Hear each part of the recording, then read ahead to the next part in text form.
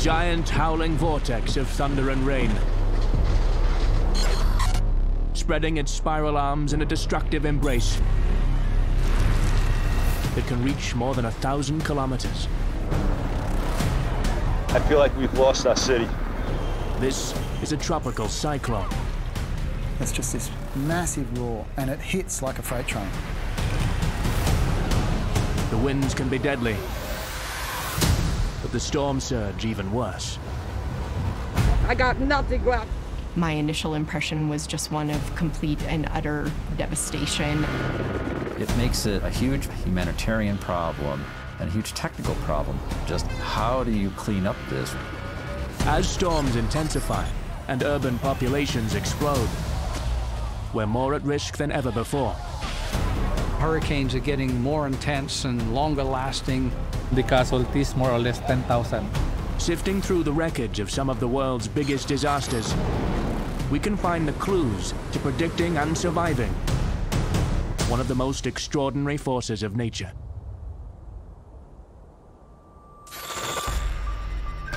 Around the world, humanity exists only moments from catastrophe.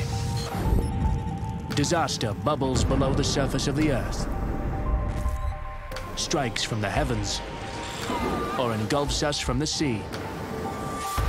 But we are not merely at the mercy of our planet. In our pursuit of industry, global connectivity, and reach for the stars, lives have been lost. Disasters reveal the best and worst of mankind, as one tragedy compounds another. How do these disasters occur? And what lessons can equip us when catastrophe strikes again?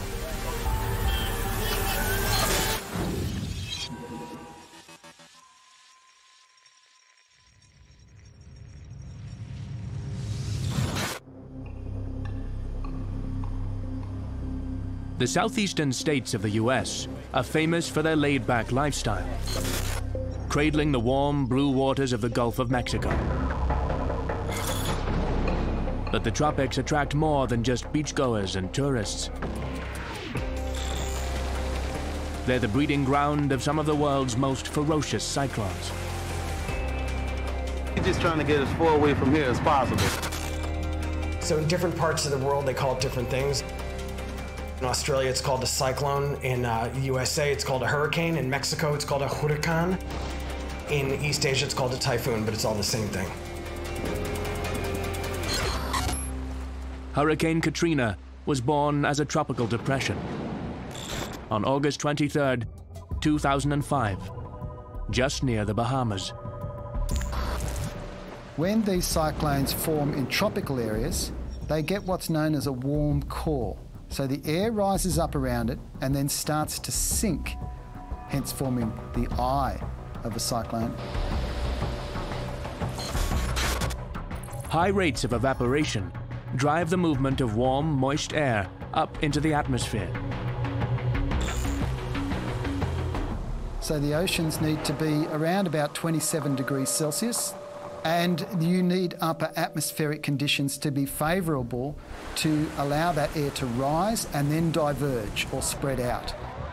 A lot of it has to do with low wind shear, meaning that there's no strong winds at different levels of the atmosphere. There are no major damages so far, mainly tree debris and power lines that were blown down. Warm waters are the fuel source of tropical cyclones. As the air at the ocean surface moves upwards, pressure drops and more moist, warm air is sucked in to replace it, creating a vortex of intense winds.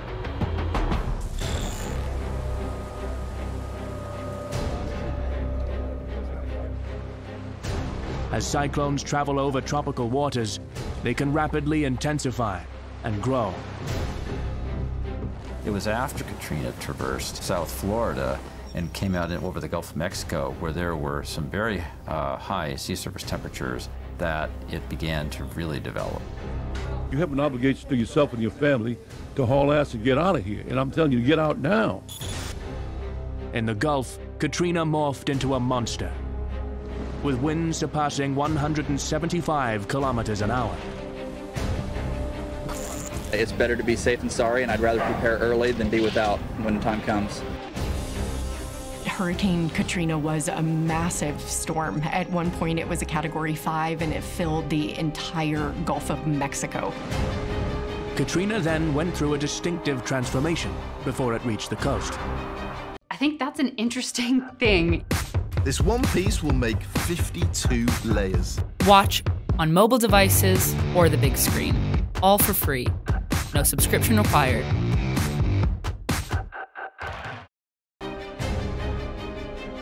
So you have these spiral armbands that, that uh, sort of wrap around the storm. And if the spiral armband gets wrapped around so much, it can actually shut off the eye wall. And then the old eye wall dies and a new eye wall forms. This is one of the processes that makes the storm bigger. Katrina weakened to a Category 3, but grew in size. And it stopped intensifying, and then it just started to spread out. And the wind field became very large at that point.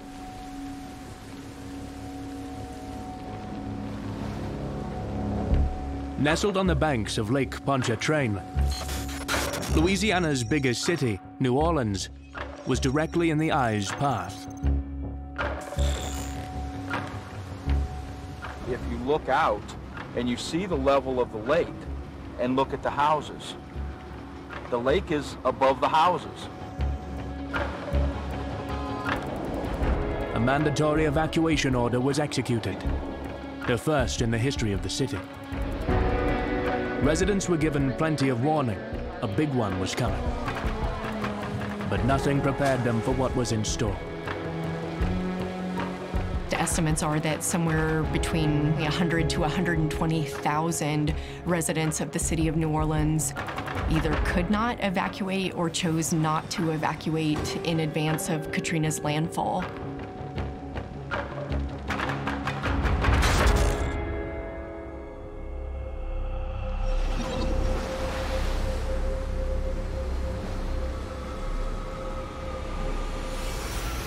Was sort of two disasters at once. So there was a sort of traditional hurricane disaster that happened on the Mississippi coast. Mississippi was to the right of the center. The winds were blowing onshore, and they had an unbelievable storm surge that inundated all those coastal towns. New Orleans was on the western side of the center and there wind was blowing from Lake Pontchartrain into the city. When the storm surge flooded into Lake Pontchartrain, the levees couldn't take the strain. So when they gave way, there was really nothing to stop the water from just pouring in. My understanding is most of the people drowned one way or another. It was the water inundation that killed people.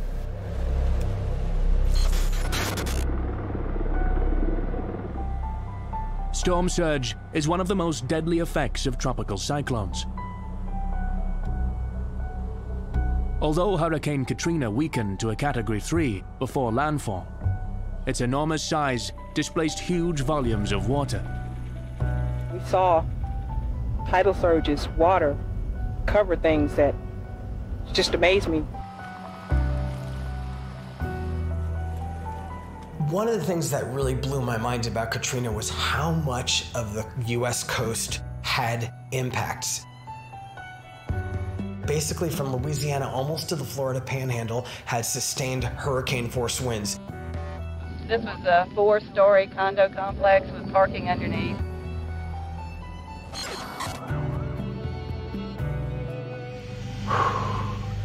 Send a lot of help. Storm surge prone area like the northern Gulf, you start piling up a lot of water along the coast and uh, carrying a lot of water with the center of the storm. In the end, it affected an area of land of about 90,000 square miles, which is about the size of Great Britain. Six, five, four. Tropical cyclones are most easily studied from space. And NASA has an arsenal of sophisticated instruments to help track and predict their formation and path. The Terra and Aqua satellites analyze rainfall rates, temperature and humidity, as well as surface wind speed, cloud height, and ocean heat. Closer to the ground, hurricane hunters carry out riskier missions. So the mission purpose today is to stay in the environment as long as humanly possible.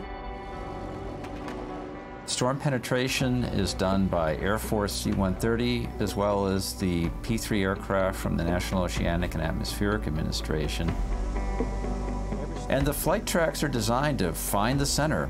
And you're not going to find the center unless you actually go to the center, and that means penetrating the eye wall. While the eye wall of the storm contains the strongest winds of the cyclone, the center, the eye itself, is an oasis of calm.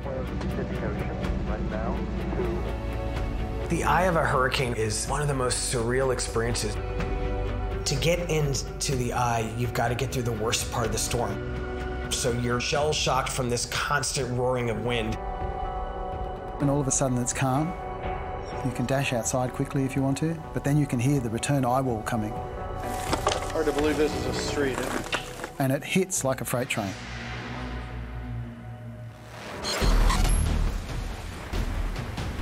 Cyclones are rated according to their wind speeds. In the Western Hemisphere, they use a classification called the Saffir-Simpson scale.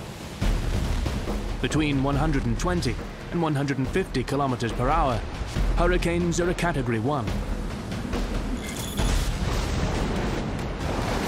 At Category 3, the level of Hurricane Katrina, major damage is expected. Trees will be uprooted and large-scale destruction of infrastructure may occur. The highest rating is Category 5. It's applied to any hurricane over 251 kilometers an hour. Little can withstand this type of hurricane.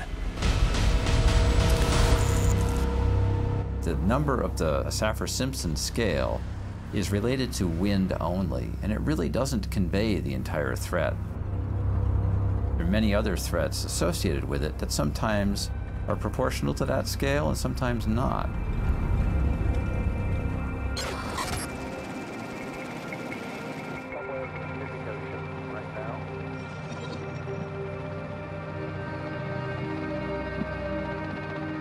Cyclones don't need to be large to create massive, deadly storm surges. Take Super Typhoon Haiyan, the fiercest tropical cyclone to ever make landfall. In 2013, it hit Tacloban City in the Philippines at a Category 5 rating. The most severe wind category possible. More than 6,000 people were killed. Please contact this number so that we can also get him. The media and people have a way of confusing the intensity of a storm with the size. So they say that Super Typhoon Haiyan was really large. Actually, it was the opposite. It was a very small typhoon, but it was very intense.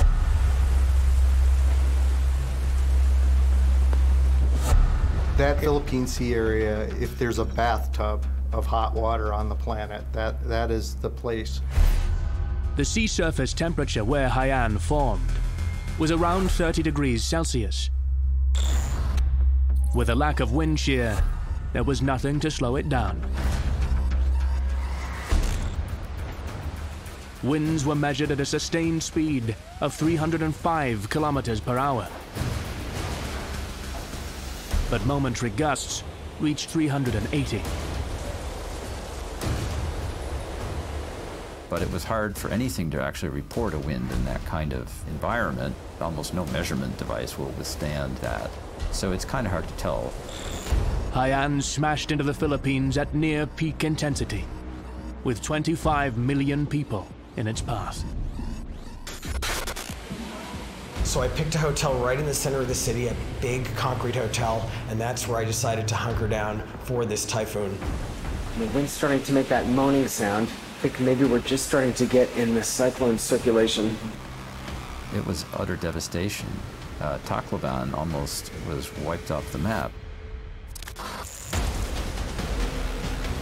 Starts out it's just windy, rainy, messy weather, and then it gets worse and worse. And finally, when you get into the inner core of the hurricane, or what we call the eye wall, that's when things go nuts.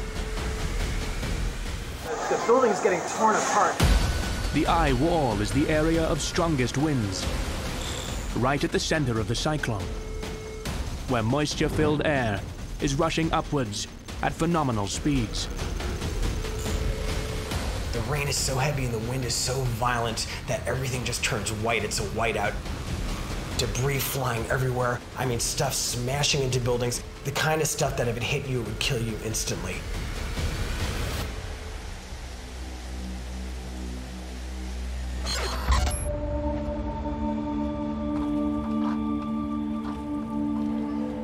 Tacloban City is on the tip of a peninsula at the top of a very narrow bay. And what happened was the center passed south of the city, then the winds shifted to the southeast, and basically had all this wind forcing all of this water into this narrow bay. And then all of a sudden it just overflowed into the city. And it swept the entire downtown area. It was literally like a tsunami. And it happened so fast that thousands couldn't get out of the way in time.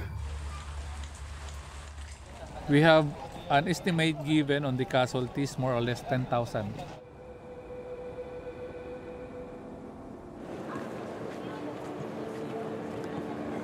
Nothing was ever like Haiyan, and I have not seen anything like it since.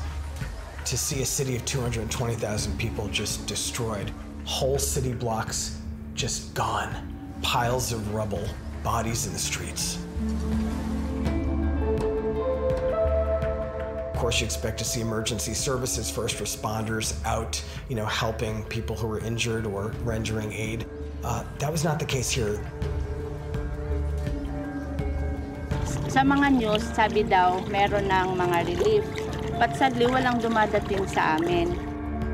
Magnitude of this catastrophe was so huge that, that society was paralyzed.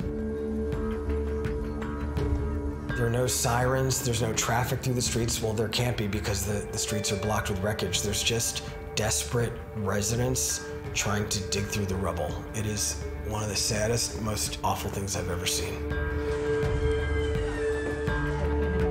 A complete breakdown of infrastructure, of, of just basic city services, hospitals overflowing with injured people. I never saw something so grim or desperate. Haiyan was just, it's, it's burned in my memory.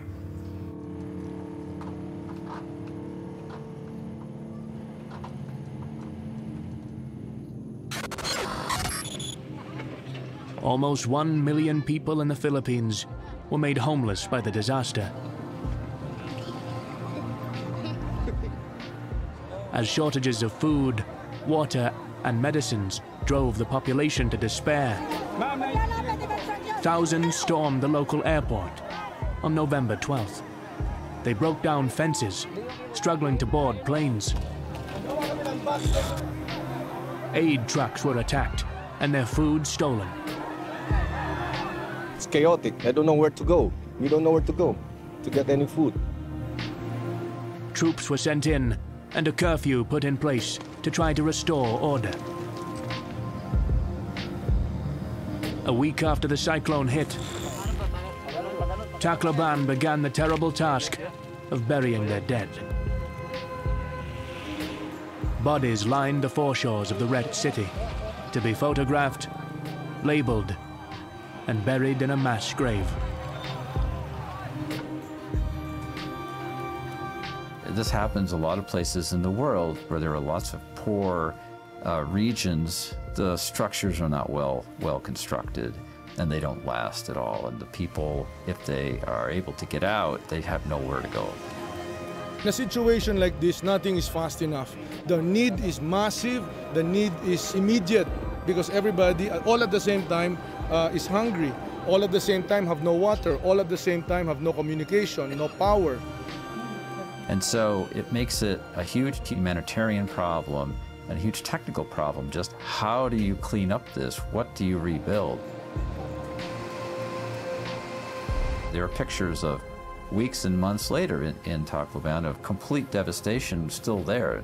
It was very hard to gather the resources to begin the cleanup and the rebuilding process. The resources were just not there.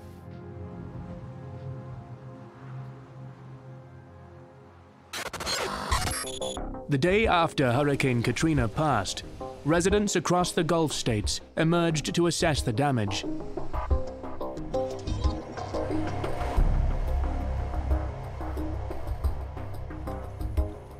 Although spared a direct hit, the worst was yet to come for New Orleans.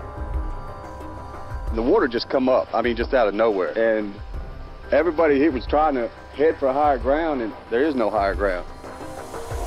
Some of those people who didn't evacuate because they didn't think the hurricane was going to be as bad as it was, they weren't necessarily wrong. Because much of the flooding and destruction that happened in New Orleans was because of the levee system that failed. Until the levees were repaired and Lake Pontchartrain tamed, the city would remain submerged. The sand layer was three quarters of the way up to the ceiling, which showed us that it was a phenomenal force of water going through those houses. The debris doubled in its size, so it's only a matter of time for the levee to completely disintegrate in front of us. The levees were designed and built by the U.S. Army Corps of Engineers to protect the city from flooding. But even they knew its limitations. The US Army Corps of Engineers had done experiments on these levees in the 1980s and knew that the type of levees that they had built would burst once the water got up to a certain level. Within 24 hours, there were more than 28 reported breaches of the flood barriers. Not all of them collapsed. Some of them didn't meet up with other parts of the, the canal walls because one part was owned by one government department, another part was owned by another government department, and they didn't see eye to eye for various bureaucratic reasons, and so they never joined them.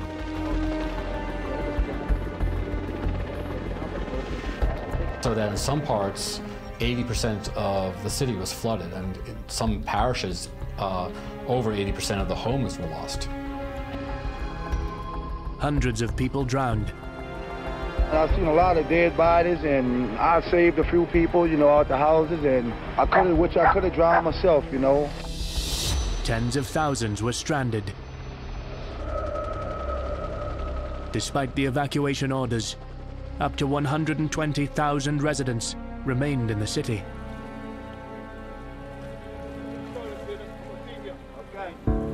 Many people didn't leave because they could not leave.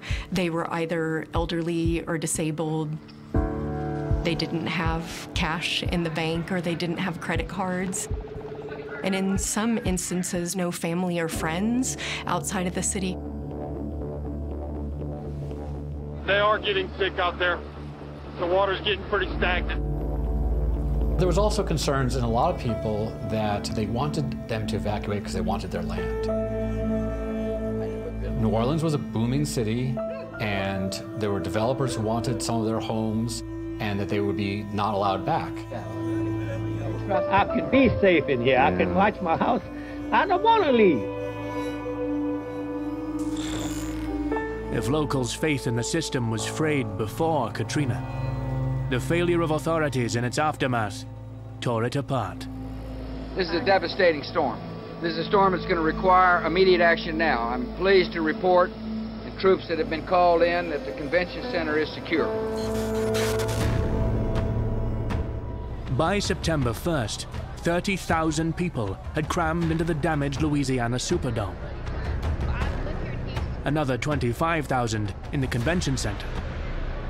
Both designated temporary shelters.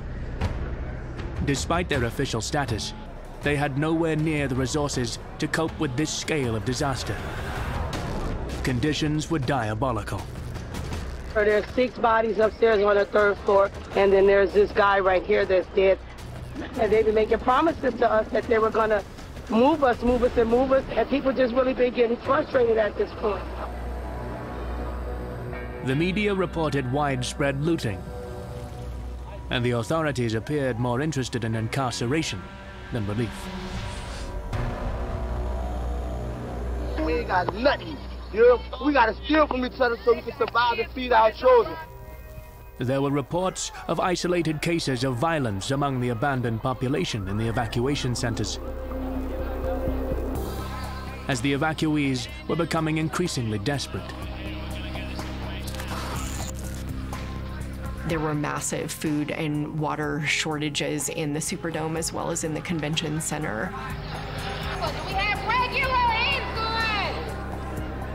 And so you can imagine when there are tens of thousands of people in these conditions, how quickly you might think things would descend into chaos, and that was what the media really reported.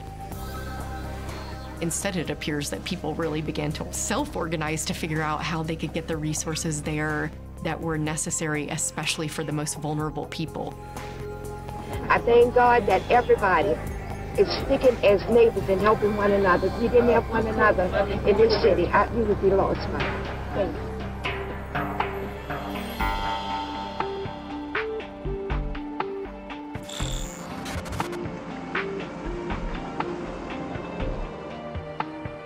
Eventually, thousands of people sheltered in New Orleans were evacuated out of the city. Keep your family members together.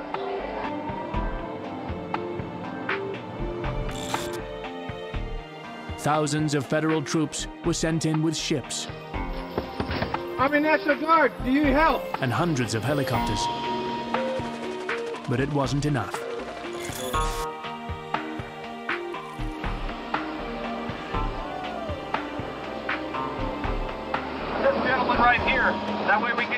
You prioritized for the next aircraft. A plea was broadcast across local TV and radio for private boat owners to come to the rescue.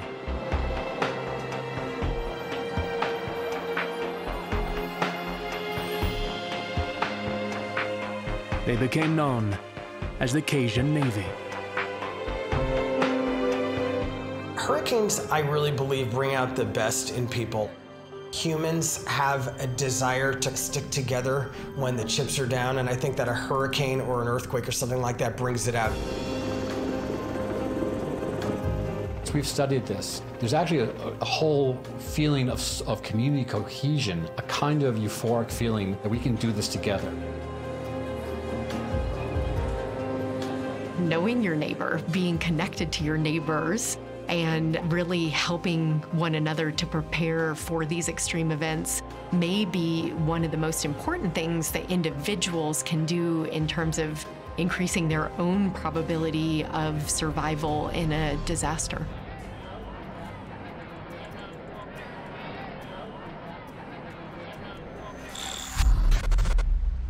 The Atlantic provides conditions for some tremendously large hurricanes. The Atlantic basin often gets very, very wide diameter systems. They're really dangerous because the strong winds extend out for such a long distance. Hurricane tracks from the last 150 years look like mad scribbles, drawn inexorably to the same location. Why does the southeast coast of the US act like such a magnet? This ain't never, ever happened to us. As with all weather patterns on Earth, if you follow them back to their ultimate source, you end up at the sun.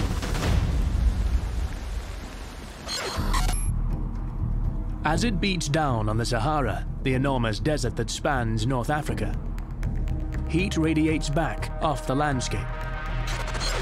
As heated air rises several kilometers into the atmosphere, it turns and moves toward the Gulf of Guinea. This movement of air becomes the African easterly jet, a band of wind that moves across the Atlantic, heading straight to America. This jet gets kinks in it, carrying low pressure systems known as tropical waves.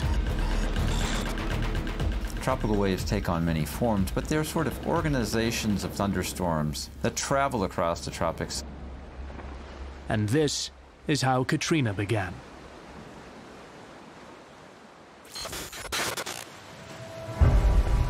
The tracks of most Atlantic hurricanes usually head back out to sea. But it was very scary, very scary. Oh my God. But the path of Superstorm Sandy, one of the most destructive and surprising hurricanes to hit the east coast of America, left many forecasters scratching their heads.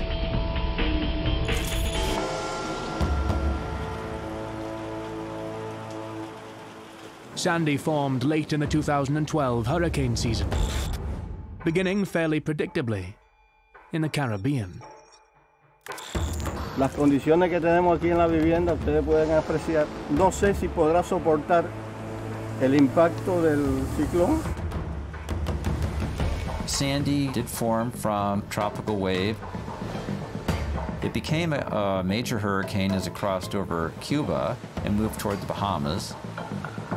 As a Category 3, Sandy tore across Cuba. Waves up to 9 meters smashed the Cuban coast, along with a 2-meter storm surge. More than 100,000 homes were damaged. And 11 people killed. And Sandy just kept going. You know, after it had intensified and gone through Cuba, we expected it to go out to sea.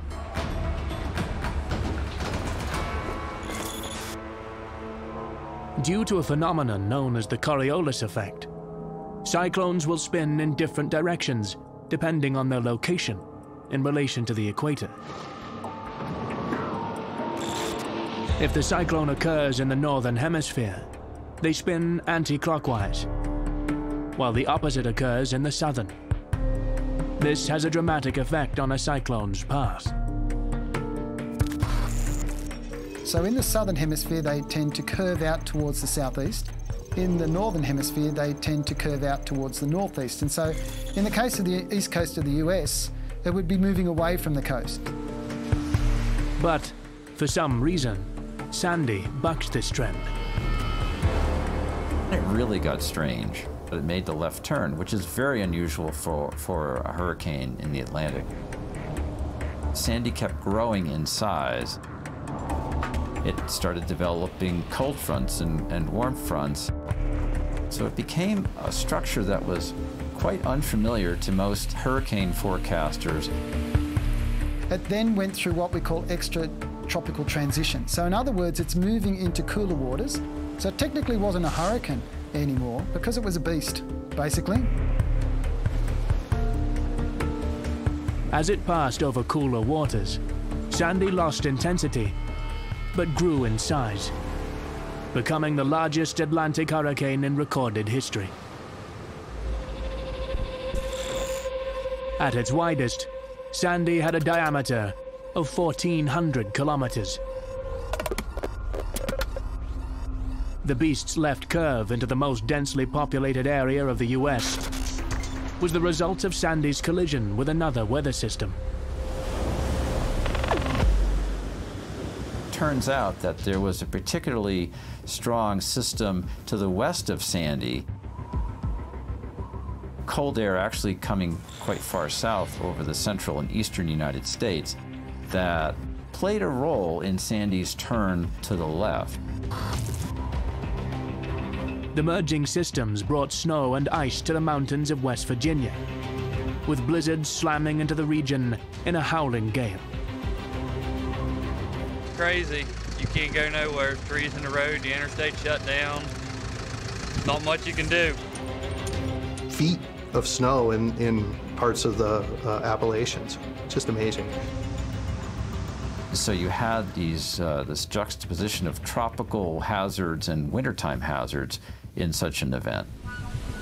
As the Appalachians froze, the northeast coast was smashed by huge storm surges, exacerbated by the full moon and high tide, two days before Halloween. It hit us really, really bad. So places around New York City and along the New Jersey coast were completely inundated. big disruption, a lot of problems in a heavily populated area. There was more than a 10 foot storm surge at the battery. It was higher than any structure they had to prevent it. And so once the water got over that, it had nothing to keep it from going into the subway and, and other things. And so there were widespread power outages throughout lower Manhattan as well as uh, in surrounding regions. That millions of people had their power knocked out. We also saw schools that were badly flooded. In Superstorm Sandy, people had to be evacuated because of flooding that was occurring there. Hurricane Katrina had taught the U.S. health system many lessons about preparedness. So even though damage and flooding were widespread, health services did not collapse. Probably one of the biggest lessons we had from Hurricane Katrina was how the health system was not prepared.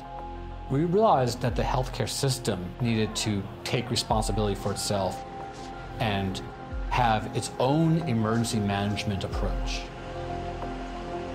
As a result, in Hurricane Sandy, the New York City area hospitals really did quite well in many regards. Though there were closures, they had been practicing and they had been preparing during that decade in between, and hospitals were up and running very quickly.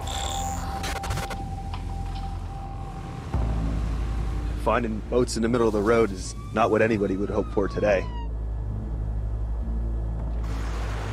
The full moon and high tide enhanced the storm surge, along with climate change.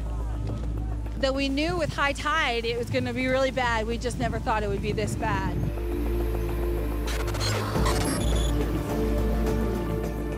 Sea levels surrounding New York are around a foot higher than they were in 1950. This makes any storm surge more severe than it would have been a century ago. The total cost was somewhere around $75 billion, and probably half of that uh, is associated with the flooding of the subway system. And so the damage was tremendous. Climate change is also warming the seas, which fuel hurricanes. The best way to think of it, in my view, is that the storms mostly occur much as they did before. But it's in a warmer, moister environment. As a result, it can actually reach out and grab more moisture and bring it into that storm. It can invigorate the storm in that process. The strongest effects are in the tropics, so this relates to hurricanes in particular.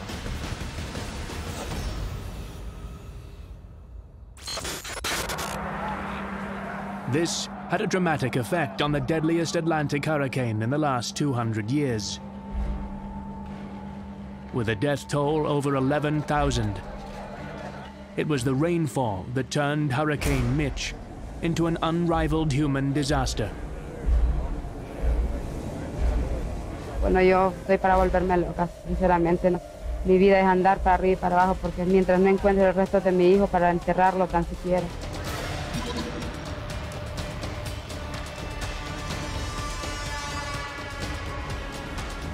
Hurricane Mitch began in the Caribbean in late October 1998 and rapidly intensified, reaching Category 5 status in just two days.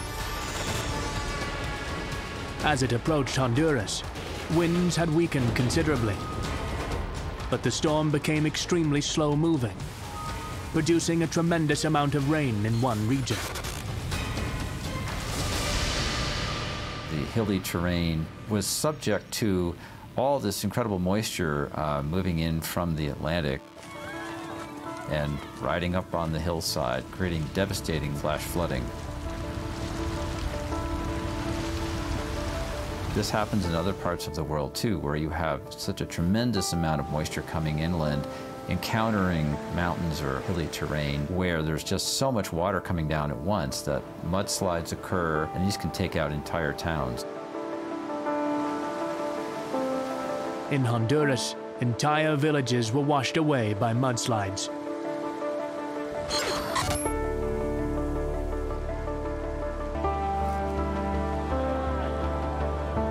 It's all rain induced and you, you can it's easy to get 10 to 20 inches of rain on hillsides in a relatively short period. The soil underneath just can't withstand that and, and eventually it just gives way and becomes liquid. It all slides down the hill. That's what killed most of the people. Nos hemos dedicado a lo que es la búsqueda y recuperación de cadáveres.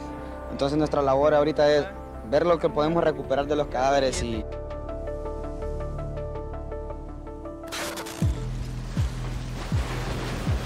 The storm's effects reached Nicaragua. One gigantic mudslide in Posoltega killed 2,000 people. Rescue workers who tried to reach devastated villages were severely hampered by rising floodwaters.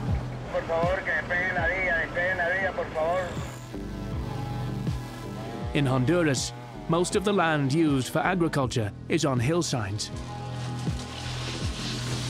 With many years of slash and burn agriculture, farmers cut and torched forests to plant crops, clearing new areas again when soils became less fertile. In cases where there has been fire or deliberate logging and deforestation, you disturb the soil's ability to deal with the amount of water that's coming down directly as precipitation or runoff. Once we start chopping down trees, in any environmental situation, we're going to cause damage, but also the stability of the land surface as well. Los dos tractores que agarraron río abajo. Y sí, en realidad son pérdidas millonarias. Eh, Trabajo de 30 años, que verlos perderse en 48 horas, sí duele, va. Ahí lo único que sostiene a uno es la fe en Dios. Mudslides demolished many of the country's crops. Bananas, beans, and sugarcane were hard hit, with losses totaling $480 million. Roads were cut off and bridges destroyed, leaving those desperately in need of assistance isolated. Much of the infrastructure was devastated. In both countries, a total of 2 million people were left homeless. No les ha dado nada, ni, ni comida, ni, ni ayudas materiales. The months that followed became a life and death struggle for some of Latin America's poorest people, who had only recently started to recover from years of civil war. The impact was so devastating that the World Meteorological Organization permanently retired the name Mitch from its hurricane list.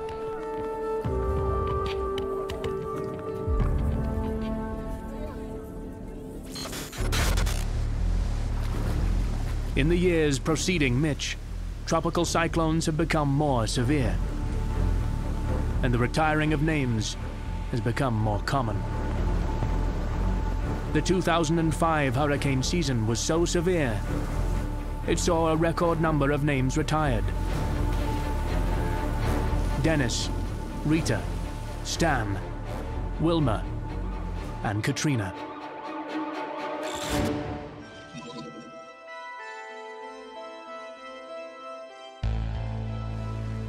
But for many New Orleans natives, the scars Katrina left will never fade.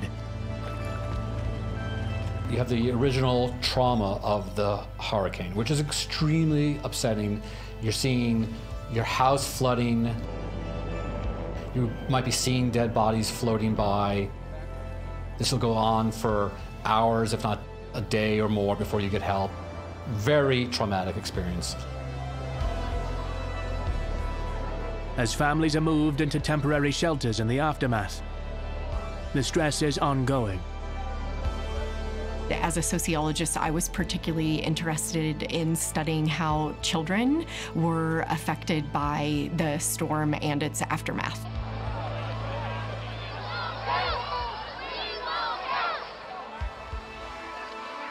Almost all of the children missed days, if not weeks, if not months of school.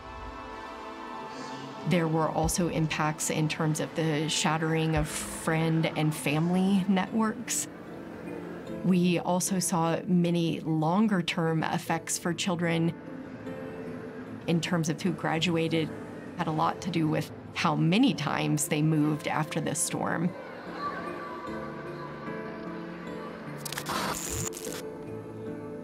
It's often said that natural disasters are the great equalizer, but the opposite is closer to the truth.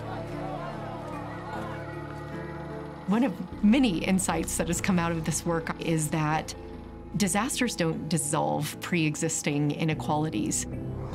What disasters do is they exacerbate social fault lines.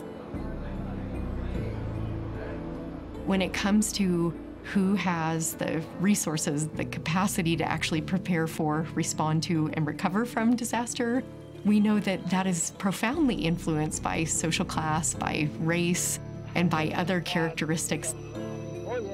Some of the populations that were displaced in Katrina included some of the most economically disenfranchised populations, and also were some of the areas of the city that were slowest to get the necessary recovery resources.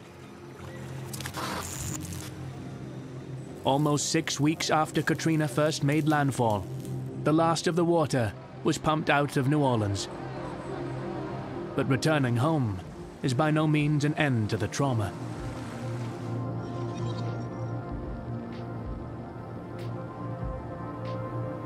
Even after a storm passes, the water stays in a building and continues to wreak havoc. And in many cases, homes were had to be destroyed completely. Just had these large expanses that were uninhabitable for a very long time. And even after the water drains away, you still have to deal with the cleanup, and the economic cost is enormous. The effects linger for years and even decades after such a devastating event. The first reaction was I was glad I got out myself. You know, glad I didn't stay because I cer certainly wouldn't have made it. Many important lessons have been learned from the mistakes of Hurricane Katrina. However, there's no guarantee it won't happen again, even in the same city. And one of the unfortunate things is the Corps of Engineers has built back most of these levees to prepare for the next Category 3 storm, but they're not prepared for Category 4 or Category 5 storm. And so this can easily happen again sometime in the future.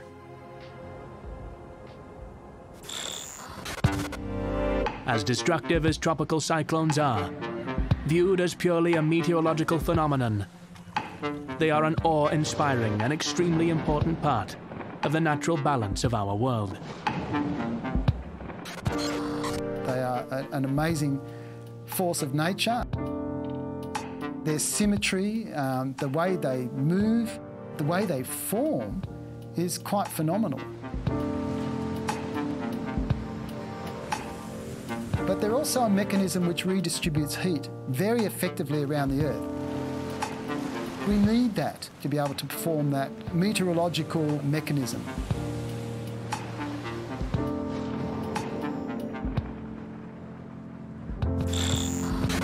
Continuing our scientific fascination with tropical cyclones is essential for better predicting where and when the next big one will hit. They're extremely complicated to understand and really understand. And to understand how they form, you need to really understand the entirety of atmospheric sciences, all the way from how water vapor behaves to complex dynamics in, in the atmosphere. And you have to put it all together. It still never ceases to amaze me that this unbelievable machine, this scary creation, is just a, a natural result of the Earth's processes. We know what we need to do in order to help populations to better prepare for disasters. Right now, it's a question of do we have the political will and are we going to invest what it's actually going to take to help make communities and cities more resilient to natural hazards?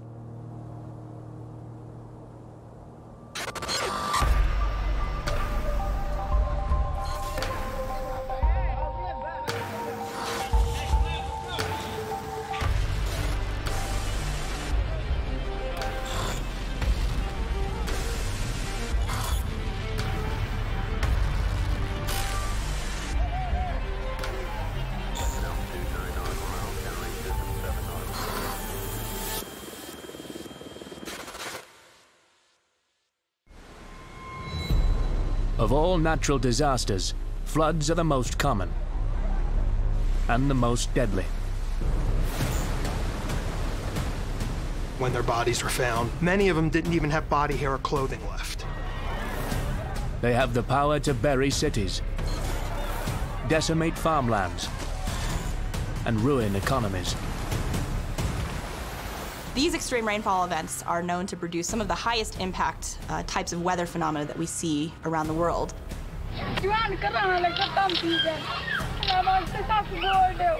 Floods are inevitable, but their catastrophic effects depend largely on human behavior. When you have very urbanized environments, that actually can contribute more to the flood. We see these events all over the world where the weather event plus the vulnerability can truly lead to a major disaster. My entire life forward just washed away. How we build, where we live, how we power our lives. These floods had a one in a thousand year chance of, of occurring.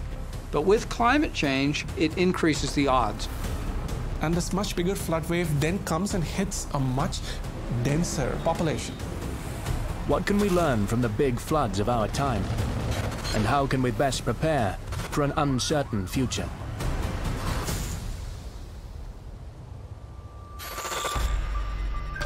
Around the world, humanity exists only moments from catastrophe.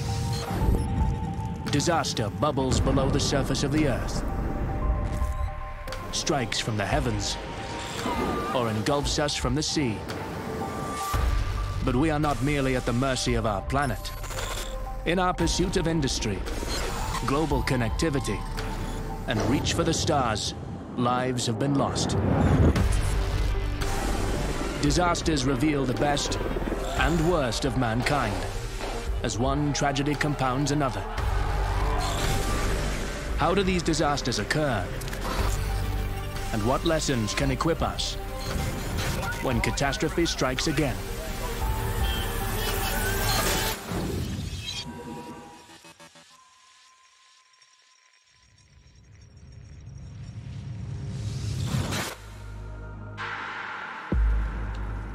Pakistan is a landscape of extremes.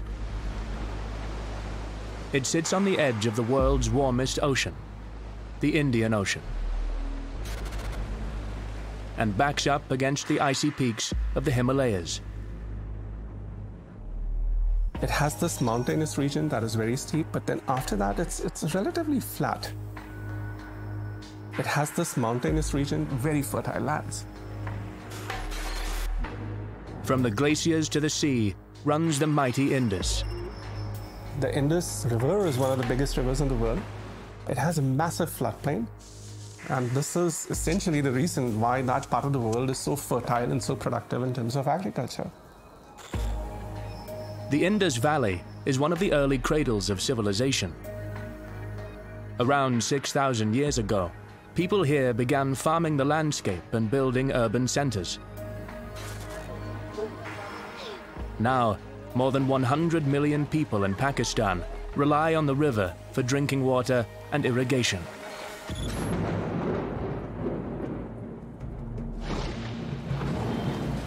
The Indus gets some of its waters from snow and glacial melt, but most from the enormous amount of water dumped each year by the Asian monsoon. हम खुदा का शुक्र करते हैं कि बहुत अरसे के बाद कराची में बड़े इंतज़ार के बाद बड़ी गर्मी के बाद बारिश हो रही है Its people are no stranger to flooding. In fact, it's key to their survival. Flood is essentially the inundation of water on a land that normally is not covered by water. This inundation can be massive. It can be really inundated for kilometers and kilometers and kilometers. It can be a minor inundation. These minor inundations are the frequent floods that civilization has depended on to sustain our ecosystems, or provide nutrients, or spread silt on floodplains. This is where the biggest, you know, agricultural farms in the world have existed.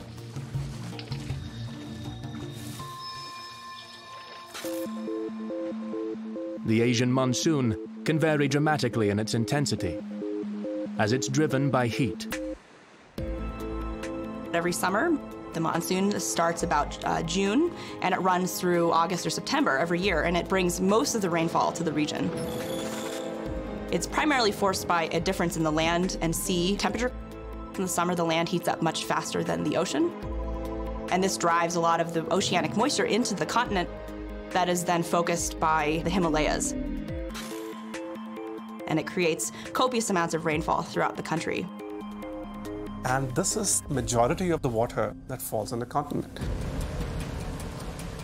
Every three years on average, Pakistan experiences a major flood. But 2010 was their most destructive in history. The monsoon is a life-giving, you know, source of water for a lot of South Asia. But that one was extraordinary in that there was an exceptionally long duration of heavy rain. There's also been a tendency in recent decades for the monsoon front to be a little bit further north, which is causing rain to occur in parts of the country that have more steep terrain.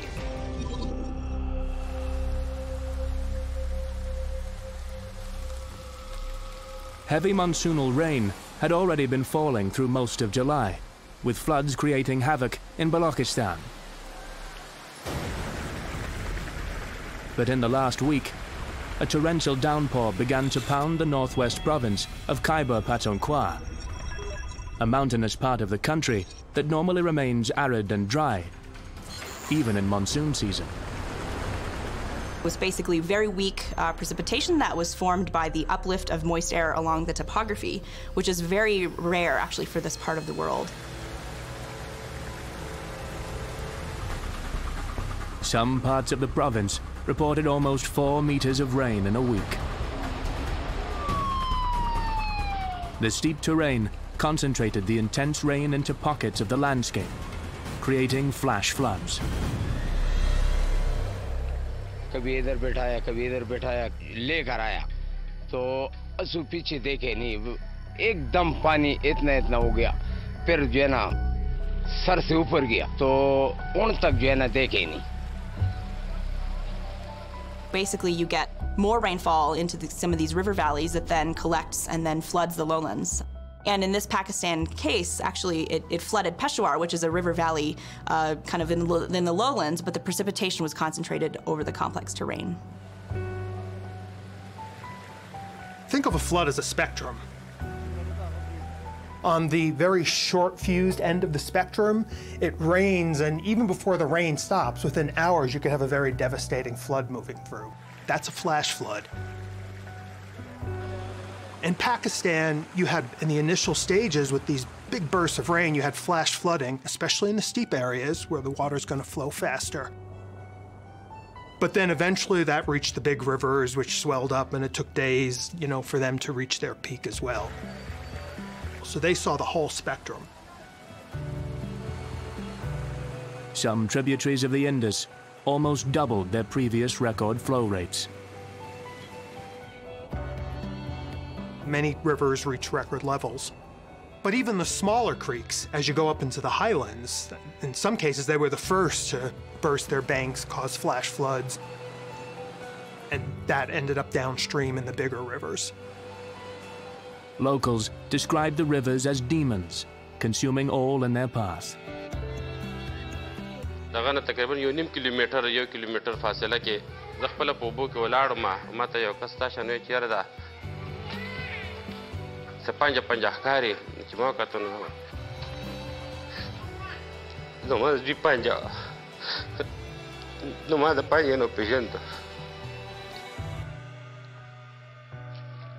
Although floodwaters subsided within days in the northern parts of Pakistan, more than a thousand were killed in these early flash floods.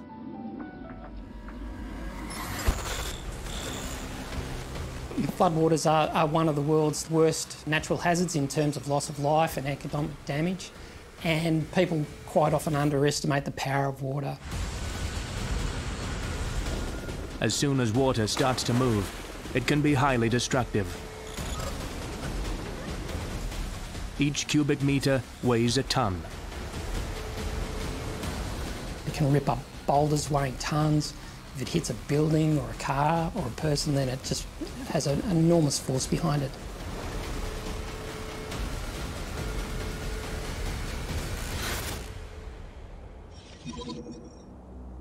For many Venezuelans, the power of water is something they will never forget. In 1999, a devastating debris flow hit the state of Vargas, a narrow strip of coastline to the north of the country. The December 1999 floods in the north coast of Venezuela were exceptional because it was one of the deadliest recorded floods in history. In fact, I'm told in Vargas State, 10% of the population lost their lives. In that event, tens of thousands were buried alive under torrents of mud and rocks, even as they slept. Y resulta que hemos encontrado una gran cantidad de personas que están en estado crítico. Y lo peor que tienen es que hay una gran cantidad de cadáveres que están en proceso de, de descomposición.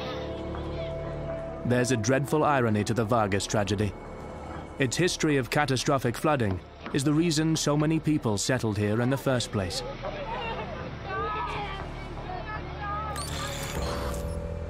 If you're not familiar with the north coast of Venezuela, it's very steep mountains that come down to the Caribbean Sea. Historically, there have been many flash floods there that deposit a lot of sediment and debris, and they create these flat, fan shaped areas called alluvial fans. Alluvial fans are typically found where a canyon drains out from the base of mountains. They form when heavy rains lift the topsoil and rocks off steep slopes and carry them towards the ocean. These fans can be enormous. Entire cities have been built on alluvial fans. Because these are flat, these are natural places for cities to build. So the population tends to be located on these alluvial fans. But these alluvial fans are still building. One of these is the Caraballeda fan. The city of Caraballeda was founded several years after the last major flood event in 1951. By 1999, the population had swelled to more than 300,000. In Vargas State, and in particular in the city of Caraballeda, we combine two things that we see so often in floods. There's the intense rain, and then there was the vulnerability. You had a major flood event, something that there's evidence has happened before, and you have now, what you didn't have centuries ago, a large population on the areas where the debris is being deposited. December is not normally rainy in Venezuela. The wet season usually wraps up around October, but a cold front had interacted with a moist southwesterly wind in the Pacific Ocean, and heavy rains began to fall in the San Julian Basin, which feeds the Caraballeda fan. There was a period of abnormally high rainfall so that the ground is wet, rivers are already running high, and then on the night of December 15th into 16th was the really intense rain. Eyewitness accounts say debris flows began around 8 p.m. on the 15th, when a phenomenal amount of water cascaded down the mountainside, ripping apart the landscape and triggering thousands of shallow landslides. There's a huge amount of water moving down a very steep slope. Once water's picked up a lot of debris and it's got boulders in it, then, then all sorts of structures will be vulnerable. And all of this started coming down, and finally it hit this flat patch of land. That is where all the people were living. And it caused massive devastation. The amount of water that came down the steep slopes in three days was almost double the yearly average rainfall.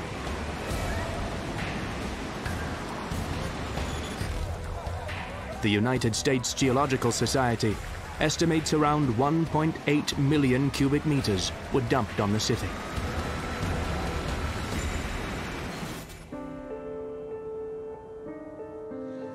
The city was destroyed. Boulders the size of trucks were lifted off the mountainside and hurled into apartment buildings. Bueno, esto fue algo inesperado, pero esta vez fue algo, como se dice, como si se hubiera abierto el Cerro Ávila. Debris deposits were head high. No exact death toll was recorded because entire towns, including Cerro Grande, simply vanished. Only a thousand bodies were recovered, but it's thought up to 30,000 people may have perished, either buried or swept out to sea. Survival of those kinds of floods where you have a lot of debris in the water and it's high velocity water is very difficult. There was a study done in, in the United States in the state of Colorado where 144 people died in a flash flood in 1976, and the coroner had determined that none of them drowned. They all died from traumatic injuries. Many of them didn't even have body hair or clothing left when their bodies were found. That's the force of what happens in these steep mountain areas when you have all this debris coming down with the water. This is an example of ferocity of a flash flood. A flood that is coming down a big river, a long river like the Indus or the Ganges or any of the long rivers. Uh, it's kind of predictable. With such steep mountains, the prediction time is nothing.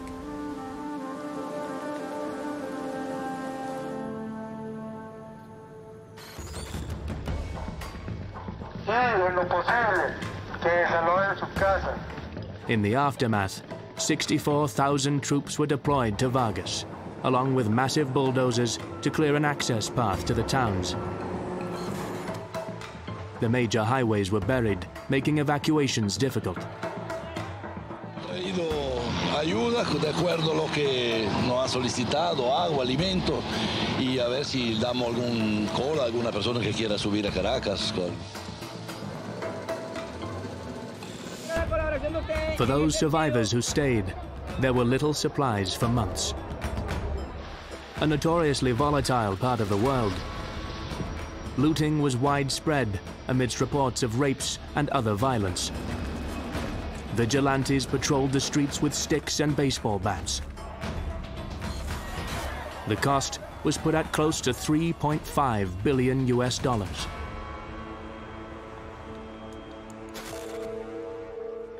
But despite the inherent risks of living on the Caraballeda fan, the city began to rebuild once more. Ahorita está todo destruido por todos lados y mientras que uno consigue, esto será dentro de un año, dos años que arreglen esto, que uno se puede ir. Mientras tanto hay que seguir volviendo aquí porque ¿para dónde se va a ir uno? ¿Para dónde?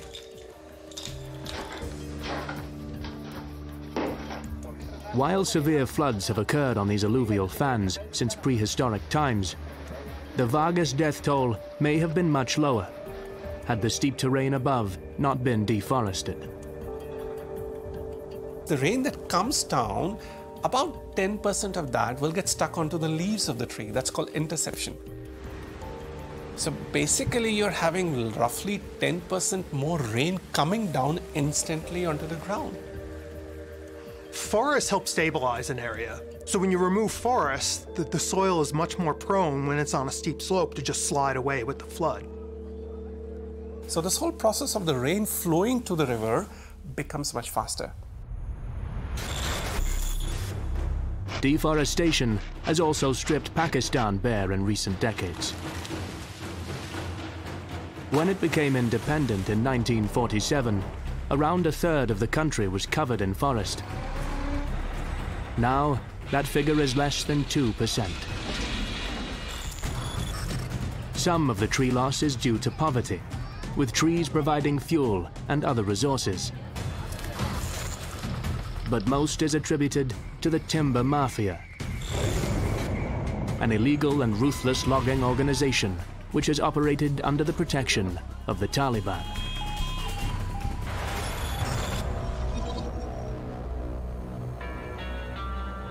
In the flash floods, logs from felled trees caused devastation of their own. Swept out of the valleys into raging rivers, they helped smash down every bridge in their path. एक पुल भी नहीं बचा मालाकंड से लेके कलाम तक तो पहली हमारी कोशिश ये है कि लोग जो है कम अज कम पैदल पार कर सके तो ये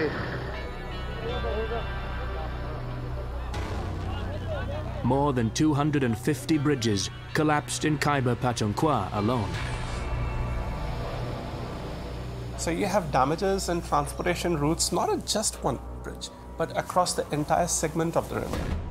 Flash floods took out power stations, telecommunication towers, homes, crops, and other infrastructure, creating a rolling disaster.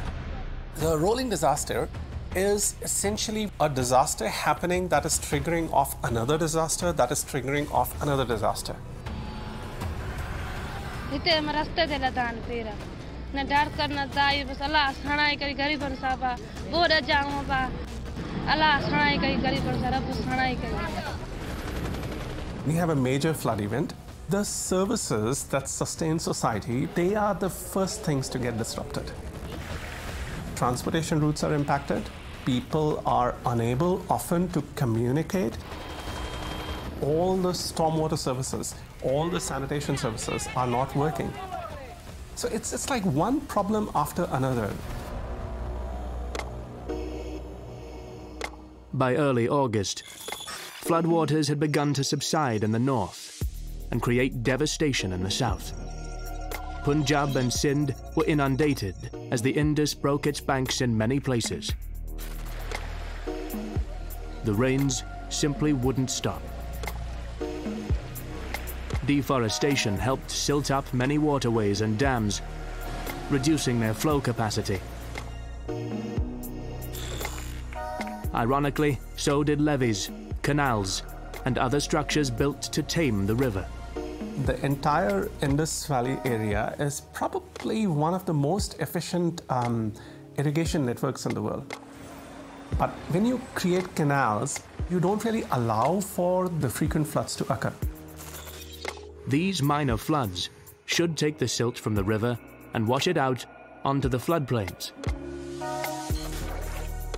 But as more canals and irrigation systems crisscross the landscape, less silt is escaping the river system. So the amount of space you have between the bottom of the canal or the river and the land starts reducing. So the river levels start rising up over course of time. Now when you have this big major flood coming along, this major flood impacts much more than what it would have had the river bottom been a little bit lower. From degradation of the environment to failed engineering projects, a raft of human activities enhanced the 2010 floods.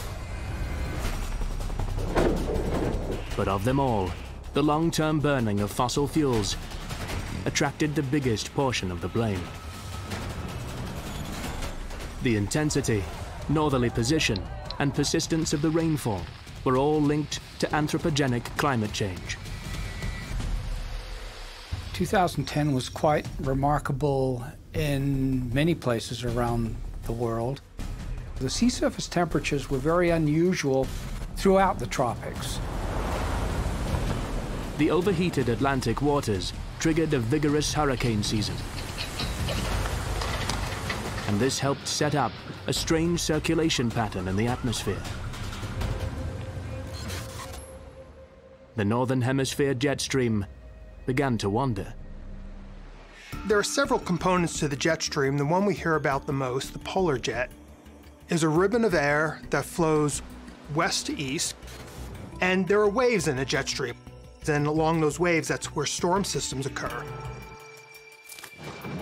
The westerly winds push these systems across the globe. Sometimes those waves can get really amplified, so they're very north-south. When that happens, the bottom of the wave, what we call the trough, can become very slow moving.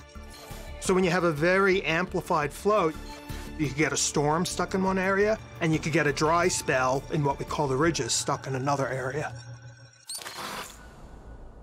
And that's exactly what happened in 2010. This buckling of the jet stream carried the monsoon rains further north into Pakistan than normal. At the same time, Russia sweltered under a massive, stagnant high-pressure system.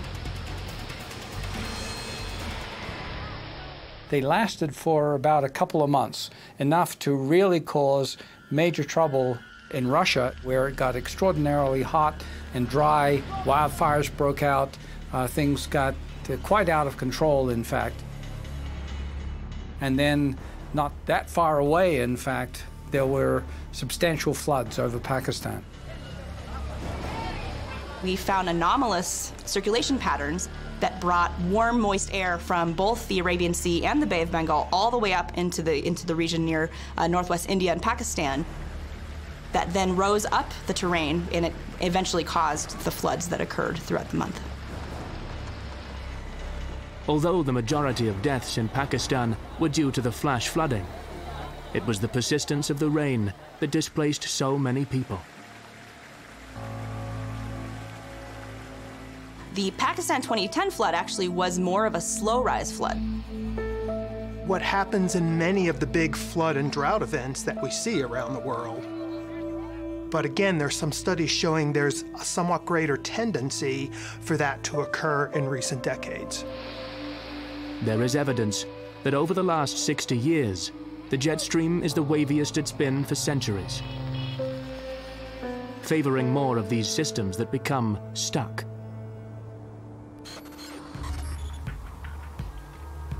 A leading theory is that a warming Arctic is a major contributor. So one of the things that helps drive the jet stream is the Arctic and the Antarctic are these real cold reservoirs. And what causes the jet stream is the thermal difference between the north and the south. The temperature difference between these icy regions and the tropics drives the winds that form the jet streams. The Arctic is warming faster than anywhere on Earth. And in summer, much of the Arctic is now ice-free. It's lowering the temperature difference between the tropics and the poles. So rather than this real strong west-east jet stream pattern in the northern hemisphere, the fact that the Arctic isn't as dramatically cold as it used to be is allowing more of that wavy pattern. That's as the theory goes. There's still a lot of discussion and debate about it, but there's more and more scientists studying that idea.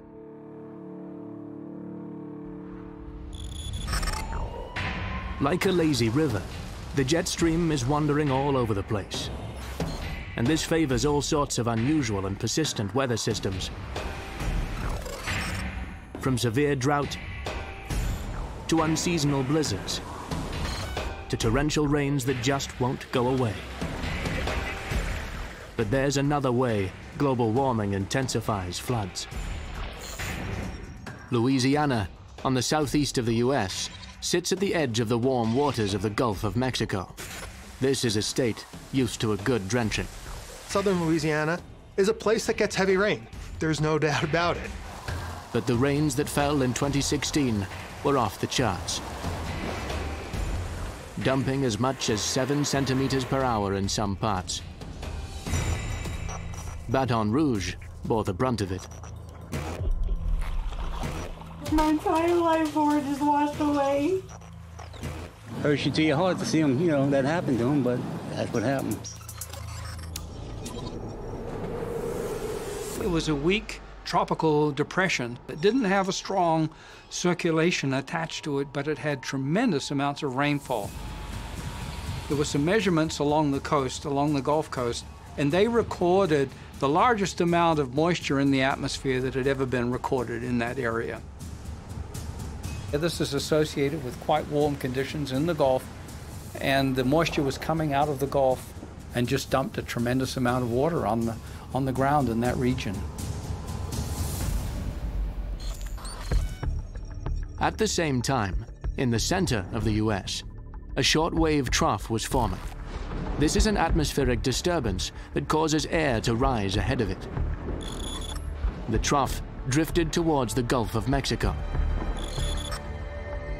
Eventually, the two systems met and produced a double lift effect. The warm, moist air rose rapidly, then cooled before the rains came down.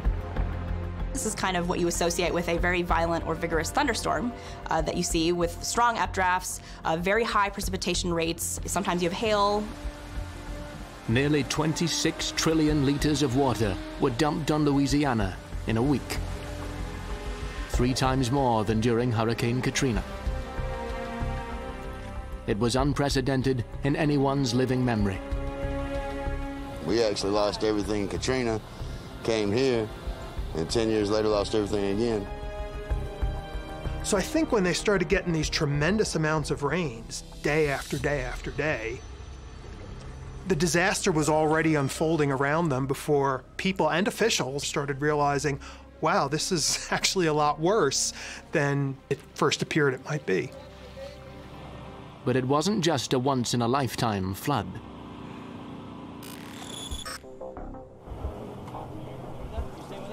in terms of the past records, they were regarded at the time as one in a thousand year floods in some locations.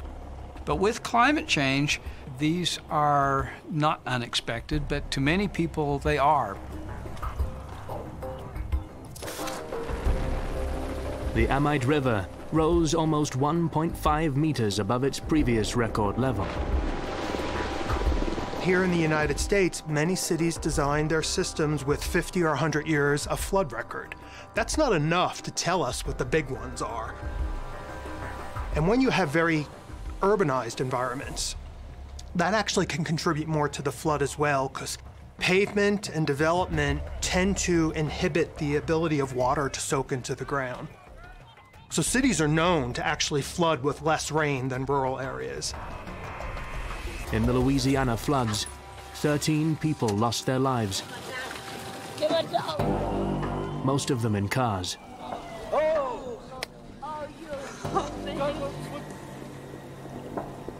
So in societies where cars are, are, more prevalent, people are used to driving their cars and they, they feel quite safe in their cars. But really a car's just like a, a bubble of air, like a balloon. Ironically, most car deaths happen in the larger, heavier vehicles, as drivers presume them to be safe. So we ran a series of tests on a range of different cars. So a large four-wheel drive in 60 or 70 centimetres of water, the, the rear wheels will start floating. We were quite amazed at how little water it did take for, for those vehicles to become unstable. That guy just went right through that, John. Once the water rises above the floor of the car, it will interact with a bubble of air in the cabin. For compact cars, this is not even knee height. Smaller cars will start floating in very shallow water depths of the order of 30 or 40 centimetres. Once you're floating, you go where the water goes, and usually it's water going over a road embankment or over the top of a bridge that lifts the car off and then pushes it off the embankment or off the bridge into deeper water.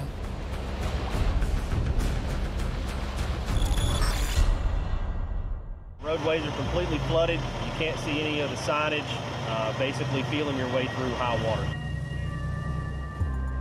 In Louisiana, emergency services were overwhelmed with the volume of people needing rescue. So, the Cajun Navy stepped in. So the Cajun Navy is this group, predominantly of boat owners, who are from the U.S. Gulf Coast, who, after a number of major disasters, they have actually come together. They've taken their boats, they've mobilized, and they've gone out and they've actually rescued people during these flooding disasters. We had a boat, so we're trying to do whatever we can in our time of crisis and disasters.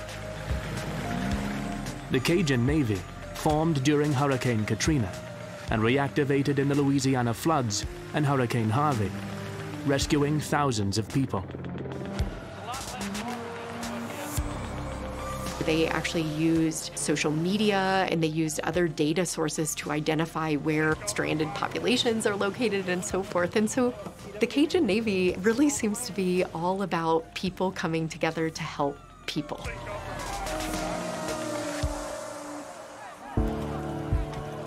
Before floodwaters had even subsided, media reports began to ask whether there was a link between the extreme flooding and climate change.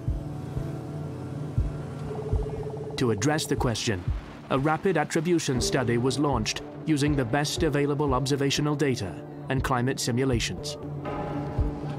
They found that rising temperatures had almost doubled the likelihood of a disaster like the Louisiana floods. Most of the heat is ending up in the oceans, and this has consequences. It means the air above the oceans is warmer and the air is moister, and this then affects all storms. It affects storms because heat energy allows water molecules to break free of the surface tension and become water vapor or evaporate. The warmer it gets, the more water vapor can be transported. Let's say you're not putting any more water down on the surface, but you're just redistributing how it occurs. There could be areas that have long dry spells. And then where it does rain, because the oceans are warmer, they're pumping a little bit more moisture into the atmosphere, and it can rain much more intensely than it had before. The scientific community has established that there is typically a 7% increase in the extreme rainfall that can occur with each degree rise in warming. This has resulted in extreme rainfalls across the world increasing. Coupled to this, the fact that we have more people in the world. These population essentially are congregating more and more towards the cities. The cities lie near the rivers where the water lies. You have more people, more infrastructure assets being exposed to any flood damage, and these floods are more intense because you're having this much more rainfall coming down.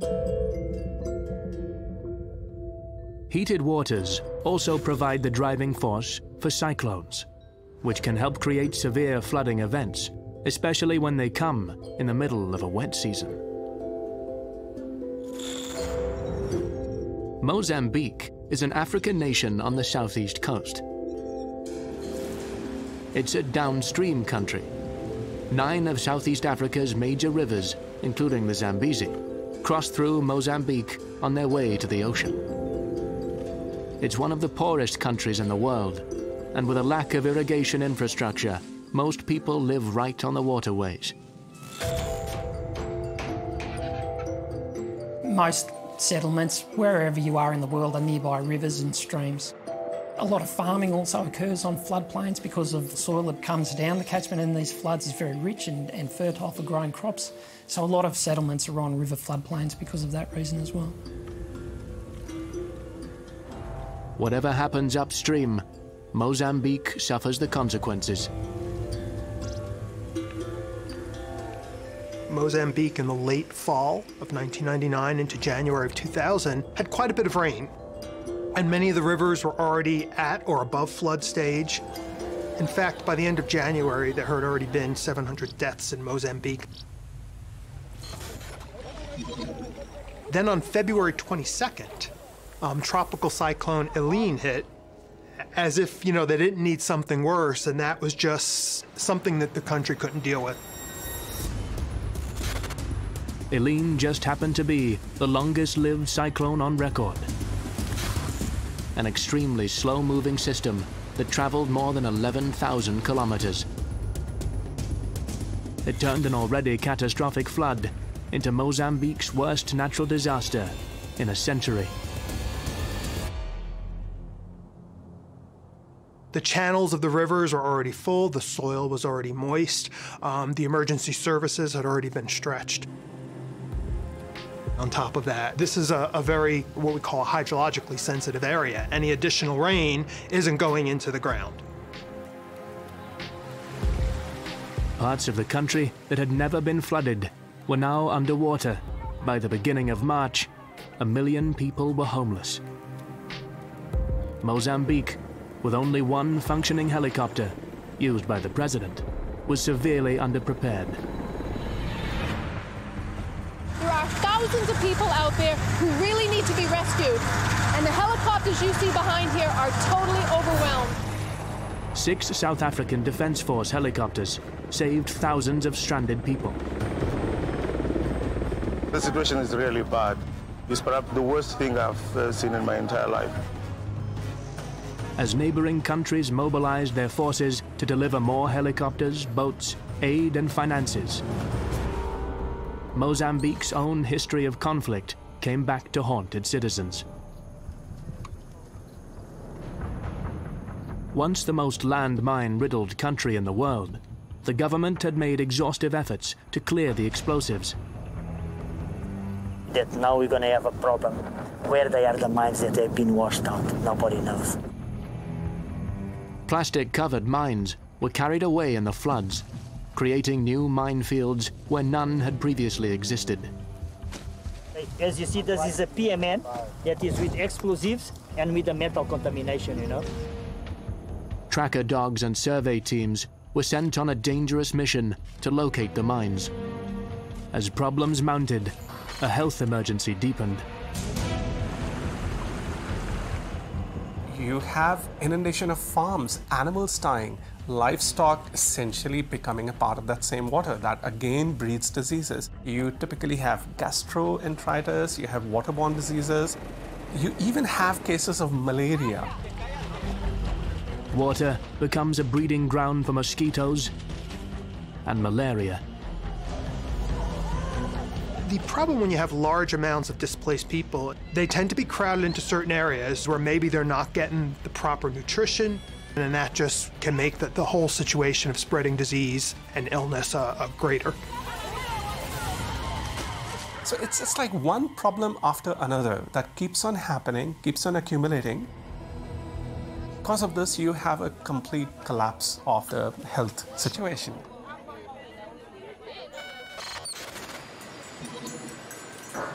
By mid-August, Pakistan was also beginning to face a healthcare emergency. As the rains continued, a fifth of Pakistan was now underwater, an area roughly the size of Switzerland, Belgium and Austria combined. So in Pakistan, being a densely populated country and a fifth of their land is submerged during this flood, the fact that 20 million people were displaced is not a surprise. That's not something the country's going to recover from very quickly. Of the millions affected, many were in desperate need of food, medical care, and most of all, clean water. Many became incredibly angry at what they perceived to be a lack of response by the government. Many of the bridges were broken, a lot of the dams were flooded. A lot of the lowland regions where people live uh, were completely flooded. So getting the aid to those, those populations required air support as opposed to uh, ground level support, which brings a lot of challenges. Although 30,000 troops were sent in, aid was patchy and inadequate. خراب دي دير جاتا دير جاتا بدا الله ترمدا ونور سنشتا ايش في بدا الله ترمدا ونور سنشتا بدا غنم دي Soon, the first cases of cholera began to appear. Cholera is often a fatal disease caused by eating or drinking bacterially contaminated water. मसला बच्चों और बड़ों में ये है कि उनके पेट खराब हैं, डायरिया का मर्ज है और और बच्चों, बड़ों, औरतों में बिलखसूस जो है ना, खारिश बहुत ज़्यादा है। खारिश लगी हुई है जिसम दानों से भरे हुए। पानी में रहने की वजह से तमाम लोगों के जिस्मों में दर्द है, बुखार है, खांसी है। Crowding exacerbates the problem as the bacteria is spread. But even more than that, when you have a flood sweep through, especially in an urban area, you have things like sewer lines that break and other toxic material that gets into the water. And so water becomes unsafe and diseases can spread that way too. So you have both the insect-borne diseases and the stuff associated with sanitation being disrupted. Multan में चवल्ले आने से अच्छा In a survey of flood survivors, it was found that the vast majority of the villages were getting their drinking water mainly from flood and rainwaters, or rivers and springs. So the key word here is vulnerability. So you could have a very major weather event like a flood or a tornado that either impacts a low population area where no one lives or impacts a population that's very accustomed to these and prepared for it, and so its impacts will be small. Then you could have a severe or even a moderate weather event like a flood that impacts a population that has substandard housing that can collapse very quickly, that have no resources to fall back on if their farms are destroyed, or that are elderly or disabled and can evacuate very quickly. Pakistan is, of course, an example of a country that has some vulnerable populations, and with the heavy rain they got, it was truly catastrophic.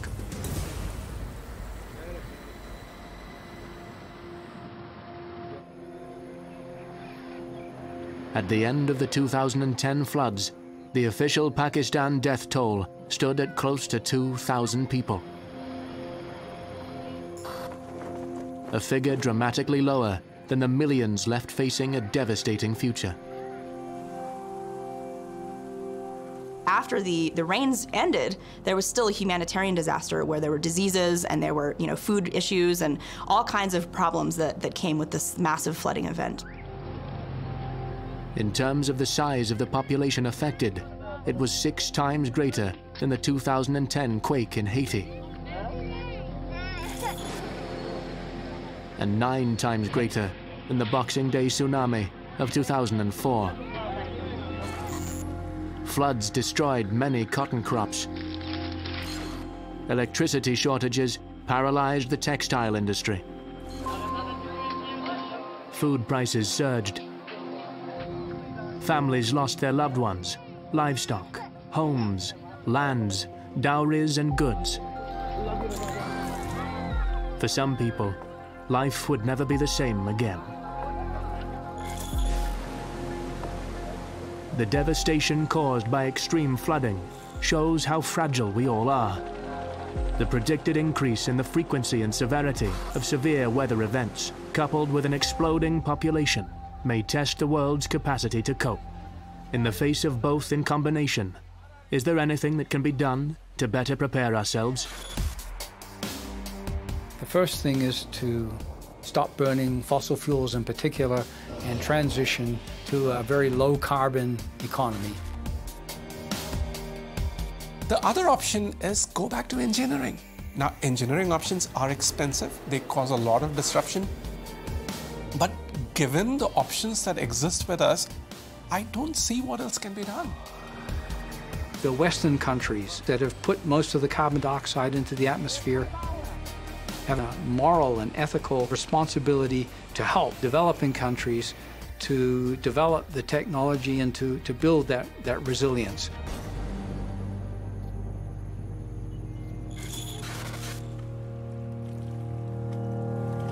Even in disadvantaged countries like Pakistan, huge change is possible, where there is political will.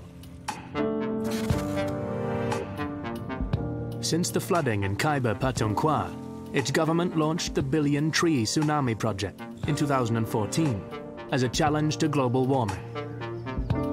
It has already overshot its target of a billion new trees by restoring and planting 350,000 hectares of forest. These trees are also helping to secure river embankments, as well as heavily degraded slopes. It is the largest ever eco-project in the country, and such a source of national pride that many other provinces are considering the same. Before 2014, it was just an idea. So I think there will be major changes uh, in the future. The question is how quickly we're going to get there.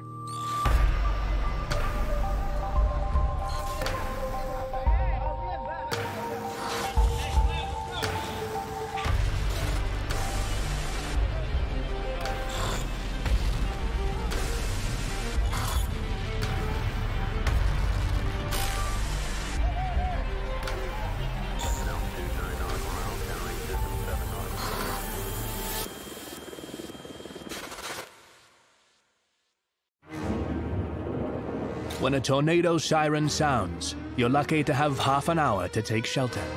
But a tornado can form and dissipate within seconds, and that's a very difficult forecasting challenge. For some, the first warning is the sight of a giant gray vortex of extreme wind, twisting violently across the horizon. Oh my God. And then, catastrophe. Homes reduced to rubble, cars tossed like tin toys, families torn apart. Not many things are designed to withstand 200 mile an hour wind. Scientists are still chasing answers to what causes the fastest winds on the face of the Earth. We're trying to understand why some tornadoes become very intense and become the real killer F4 and F5 tornadoes that we're most concerned about. We actually don't know some of the last processes that really make a storm form a tornado. Unraveling the tracks of killer tornadoes may help us one day understand exactly when and where the next big outbreak will strike.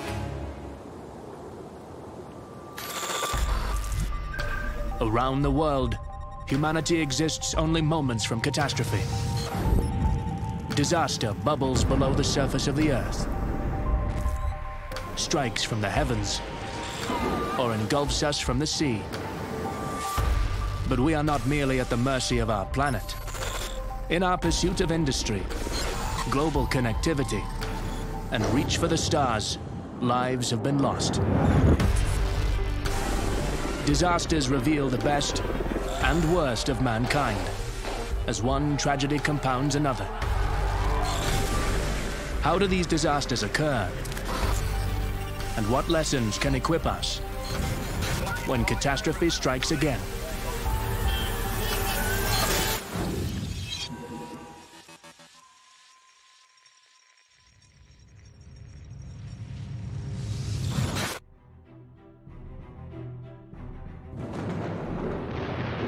The United States of America is a hotbed for tornadoes. More strike here than any other country on Earth. But the spring of 2011 brought devastation to numerous states in the biggest and most destructive outbreak in U.S. history. In an extraordinary four-day stretch in April, 360 tornadoes ripped through multiple states, killing hundreds and racking up a $12 billion bill.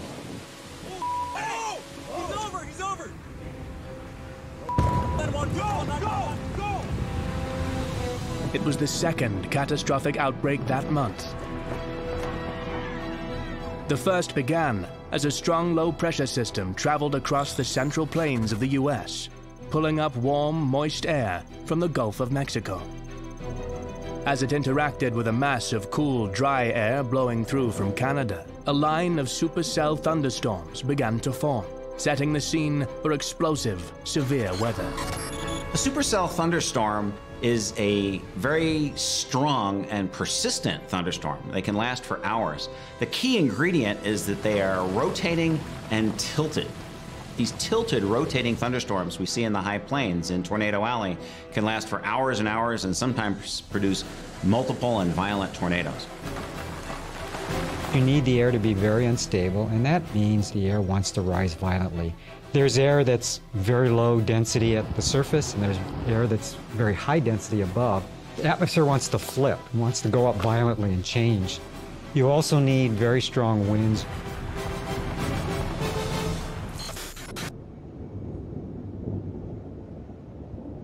If cool, descending dry air passes over rising, warm, moist air, it's the perfect setup for a flip. This happens in a normal thunderstorm, which can quickly kill itself off. What will happen is that the rain will fall back down and kill off the original updraft, and you'll have a basically a life cycle of a of a normal what they call an air mass thunderstorm. To brew up a supercell, you need an added ingredient of strong multi-directional winds at different altitudes. And then the real key ingredient is something that we call wind shear. So it's winds in the atmosphere that change speed with height, and they also change direction with height. Basically, what it does is it creates rotation, but this rotation is horizontal. As you know, a tornado is vertical. So what ends up happening is this horizontal rotation, these supercells have very big, strong updrafts. Basically, it gets tilted into the vertical. So then you get the supercell. So you get this rotating thunderstorm. And that rotation acts to uh, bring the rain to off to the side of the updraft and allows the supercell to exist as an entity uh, much, much longer than an ordinary air mass thunderstorm. Instead of cooling itself off, a rotating supercell just keeps on going. And those are usually the strongest thunderstorms, and they're associated with the most severe weather. So winds, hail, and then tornadoes. And usually the strongest tornadoes come from these supercell thunderstorms. Large tornado crossing the highway just in front of us. And then it, it becomes a tricky part of how the tornado actually forms. So there's downdrafts and updrafts associated with this rotating part of the supercell. As this downdraft is coming down, it's bringing down rotation to the surface. But only a small fraction of supercells produce tornadoes, which is another forecasting challenge.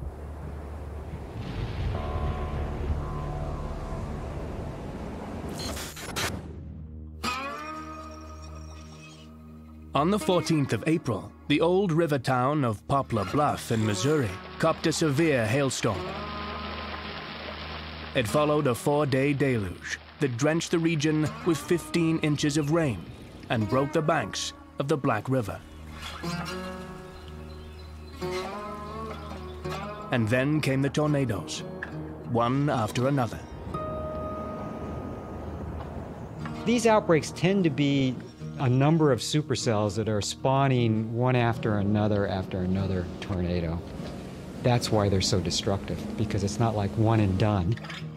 The tornado may dissipate, but then it's usually followed by another tornado.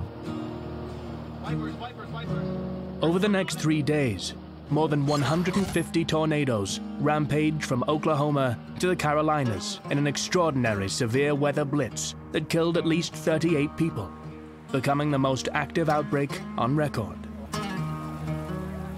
In North Carolina, 30 tornadoes caused 22 fatalities, a state record.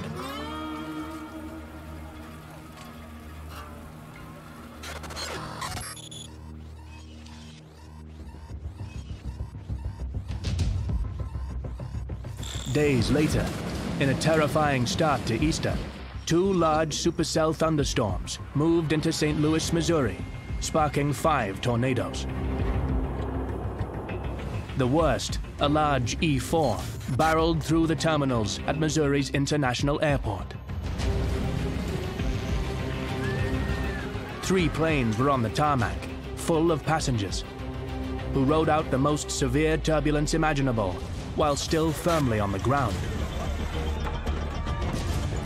Outside the terminal, the extreme wind tossed vehicles about, including one van that was nearly pushed off the edge of an upper-level car park. A large section of the roof was torn off. Many of the glass doors and panes shattered. While many travel plans were shredded by the event, the biggest miracle of the Good Friday tornado was that no one was seriously hurt.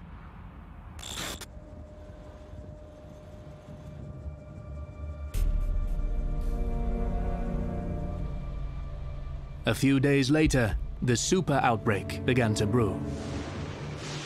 A gigantic, long wave trough came in from the west, sending alarm bells ringing throughout the Central Plains.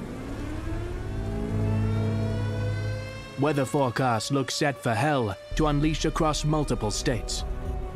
The Storm Prediction Center issued a particularly dangerous situation tornado watch for Arkansas, Missouri, Texas, Oklahoma, and Louisiana part of the famed Tornado Alley.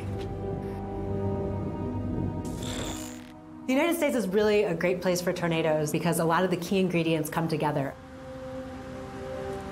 And in particular, they come together a lot of times in the early spring in, in the central part of the United States, what's commonly known as Tornado Alley.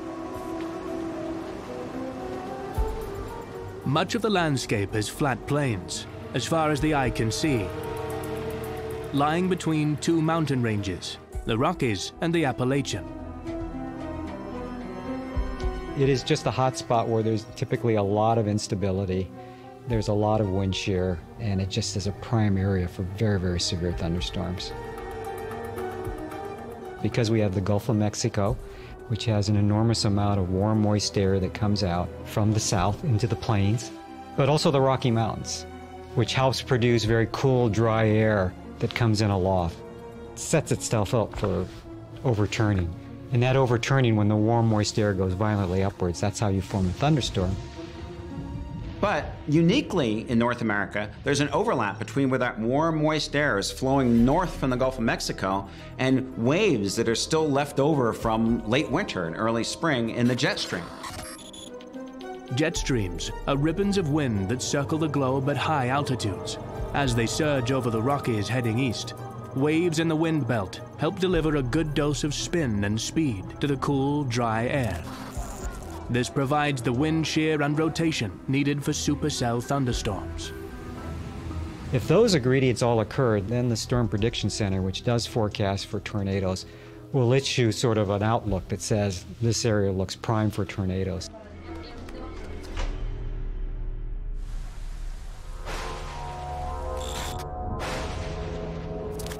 On the evening of the 25th, the first tornado to cause multiple deaths hit Vilonia in Faulkner County, Arkansas.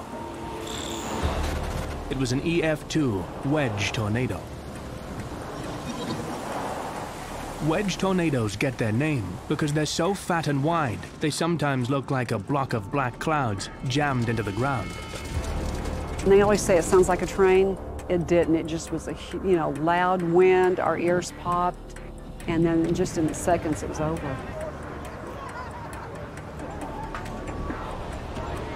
Vilonia is little more than a street in the center of farmland. The storm churned through the center of it, flattening mobile homes, flipping trailers and downing trees. We need boots on the ground. We need, we need people here with hands-on, moving stuff, piling stuff. Four people were killed. A toll which could have been much worse had the town not received a 30-minute warning. I think we're pretty good at trying to forecast supercells or tornadic thunderstorms. The difficulty is if that thunderstorm will produce a tornado and when will it produce a tornado. If you ask me what's that fraction, about 20 to 25% of all rotating thunderstorms produce tornadoes. There is no long-range forecasting of tornadoes, only the conditions that make them likely to happen.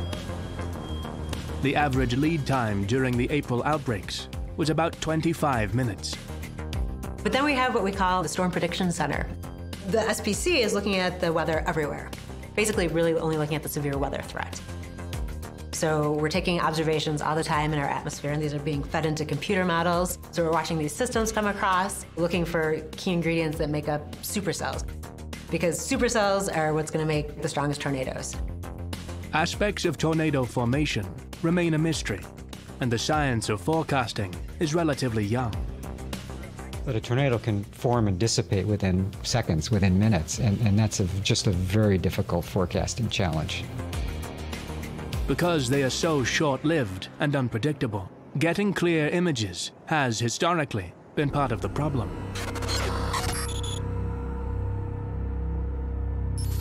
The 1957 Dallas tornado was a turning point in tornado research.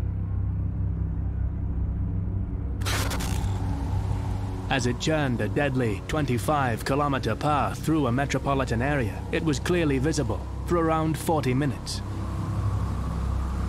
It became one of the best documented tornadoes. More than 100 people caught it on film. From these clips and other photographs, scientists were able to estimate wind velocities and the speed of the tornado. Engineers were also able to relate those speeds to damages on the ground. In that storm, 500 were made homeless, 200 injured, and 10 people perished. Most of the reports of tornadoes came from unscientific observation. They'd go out and interview the farmer, what happened here? And the farmer would say something like, well, we lost the roof in this house, and uh, for some reason here, my chicken was completely plucked after the uh, tornado went through. And then have to figure out, well, you know, what is, uh, what is the wind that it would take to pluck a chicken? Those kind of things, right? By the early 60s, the interstate highway system had been completed in the U.S., and so it became possible to navigate your way to, to a thunderstorm and start making scientific observations. One of the researchers there, a guy named Neil Ward, was the first person to, to get the idea to get in his car and chase after a thunderstorm. What he found is the, that there is a very characteristic set of events in these thunderstorms that precede the tornado formation. For example, they find that there is a cloud base, and before the tornado forms is a lowering of the cloud base called a wall cloud. Then there's a rain shaft that is basically on the backside of the wall cloud. So there were just a number of uh, scientific observations. The study of tornadoes took a huge leap in the 70s when a team of scientists first managed to intercept a tornado with an experimental Doppler radar.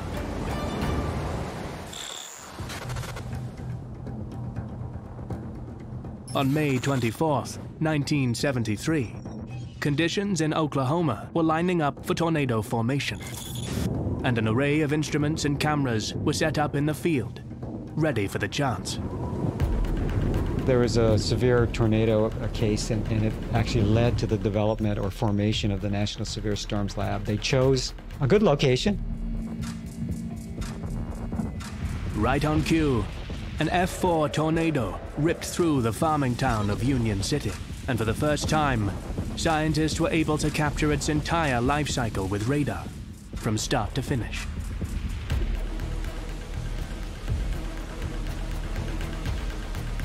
It changed tornado forecasting forever.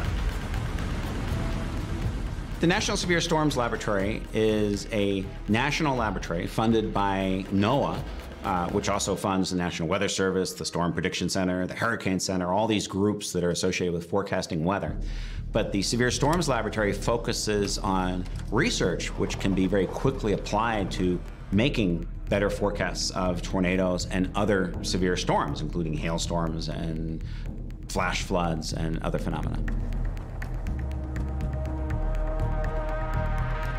Doppler radar scans of the Union City tornado led to two critical discoveries.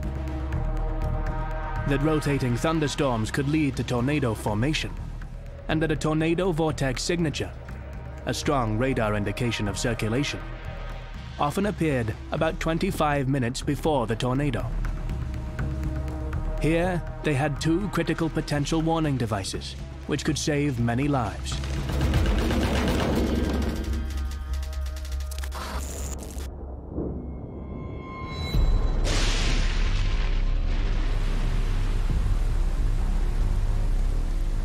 Just one year after the Union City tornado, the super outbreak of 1974 occurred. It remains the deadliest spate of U.S. tornadoes on record. As the National Weather Services were still using 1950s equipment for forecasting, warnings were virtually non-existent. It was a particularly violent outbreak, carrying with it 30 EF4 and EF5 tornadoes. 335 people were killed and 6,000 injured.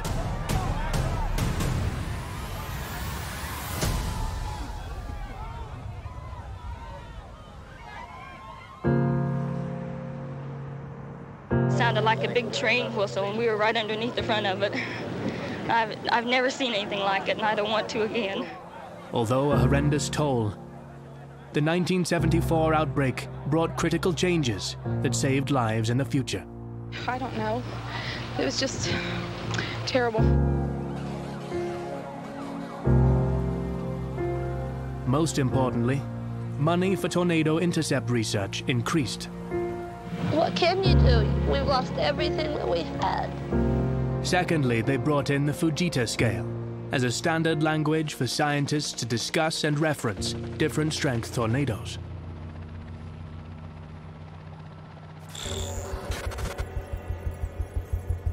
There's something we use called the Enhanced Fujita scale. Really what it is, is it's um, a damage-based scale. So looking at damage, wind speeds are inferred.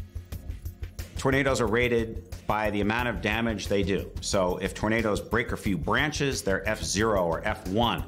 If they completely wipe houses down to their foundation, so there's nothing left but the slab, that's an F5. In between, there are different levels of damage from lifting off a roof, maybe that's F1, to removing a bunch of walls, that might be F2. There are a lot finer details than that, but roughly it's the level of destruction that a home or other structure experiences. If a tornado has ferocious winds, but lands in a rural area with no destruction of property, they will receive a low rating, even those that normally cause the total obliteration of well-built structures. So if a strong tornado with 400 kilometer per hour winds goes through open wind fields, it's rated F0. In some sense, that's kind of silly because we know it's much stronger than that. Even if we measure winds stronger than that with a radar, it's officially rated F0 because of the damage. We are working with the American Society of Civil Engineers to develop a standard that uses all available evidence, including damage, radar measurements, anemometers, to try to come up with the most comprehensive and most accurate measurement of tornado winds. Although only around 1% of tornadoes in the US are classified on the top end of the scale, an EF4 or EF5, the majority of deaths are in these two classes. Any tornado that has a greater chance of hitting an urban area is likely to be higher rated, do more damage, and kill more people.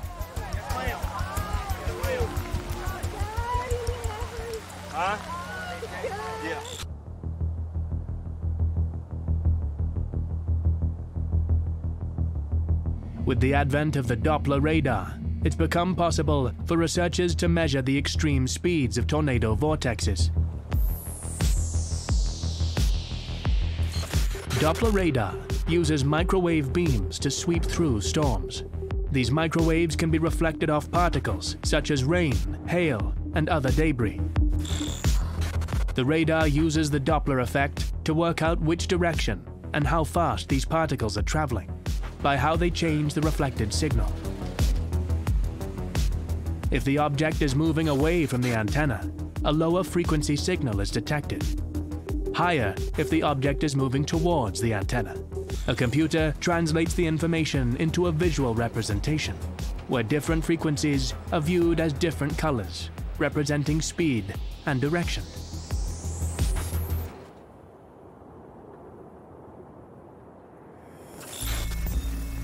I lead the Center for Severe Weather Research, which operates the Doppler on Wheels mobile radar fleet and also other instruments that we drop in front of tornadoes, hurricanes, other kinds of interesting weather. We've compressed everything and made it rugged and mobile so we can chase to the weather. We can go to tornadoes instead of waiting for them to come to us. By getting up close, we can see the, the fingerprints, the small details that you just can't see from farther away. We're trying to understand the map of the winds inside tornadoes. Where are the strongest winds? How are they doing damage? We're trying to watch the birth process of tornadoes and understand why some thunderstorms produce tornadoes and some don't. We're trying to understand why some tornadoes become very intense and become the real killer F4 and F5 tornadoes that we're most concerned about.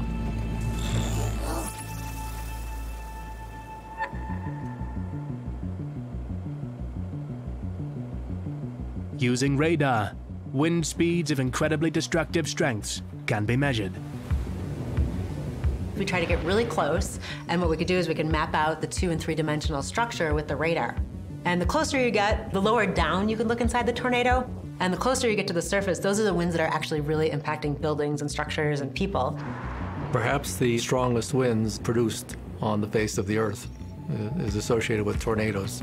Recent studies using mobile Doppler radars have documented unambiguous winds of around 135 to 140 meters per second, almost 300 miles an hour winds. It's an amazing number. The fascinating thing is the tornado, how can it produce such a strong wind locally compacted at the base of the funnel of a tornado? There's a very good radar network across the U.S. now. You can uh, see, actually see uh, rotation in, in the storm, which is also an indicator of tornado genesis. Rotation in a storm can be seen as a characteristic hook. The tornado itself as a coupling of green and red intense bands. Doppler radar can also help forecasters identify tornado signatures, like debris balls, which are areas of high reflectivity where debris is carried aloft in the tornado. Particularly strong tornadoes can have massive debris balls, like the EF5 Bridge Creek tornado. One of the strongest tornadoes we've ever observed was in central Oklahoma, near Bridge Creek and Moore in 1999. That tornado went directly through a metropolitan area, so had very high impact, killed almost 40 people, destroyed thousands of homes, just this one tornado. And we measured the strongest winds we've ever seen, or I think anybody has ever seen, over 300 miles an hour, almost 500 kilometers per hour. The damage in that tornado was not just F5. It was very, you know, serious F5 level damage. Homes were just wiped and scoured off their foundations. Fields and lawns were, were scoured with the grass removed. It was a very dramatically strong tornado that caused bad impacts, you know, strong impacts to the areas it hit. I walked into the tree line, caught a movement out the corner of my eye. Under some debris around the base of a tree, I seen a what appeared to be a baby.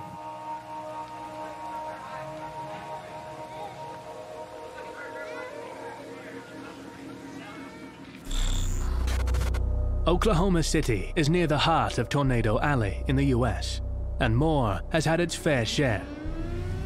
Being struck more than 20 times by tornadoes, a number of them particularly violent and destructive. On the afternoon of May 20th, 2013, another long-lived EF5 tornado mowed through the town. Whole neighborhoods looked as though they'd been thrown in a blender so unrecognizable that street signs had to be urgently printed so that rescuers could map out where they were. In the direct path of the tornado lay two elementary schools.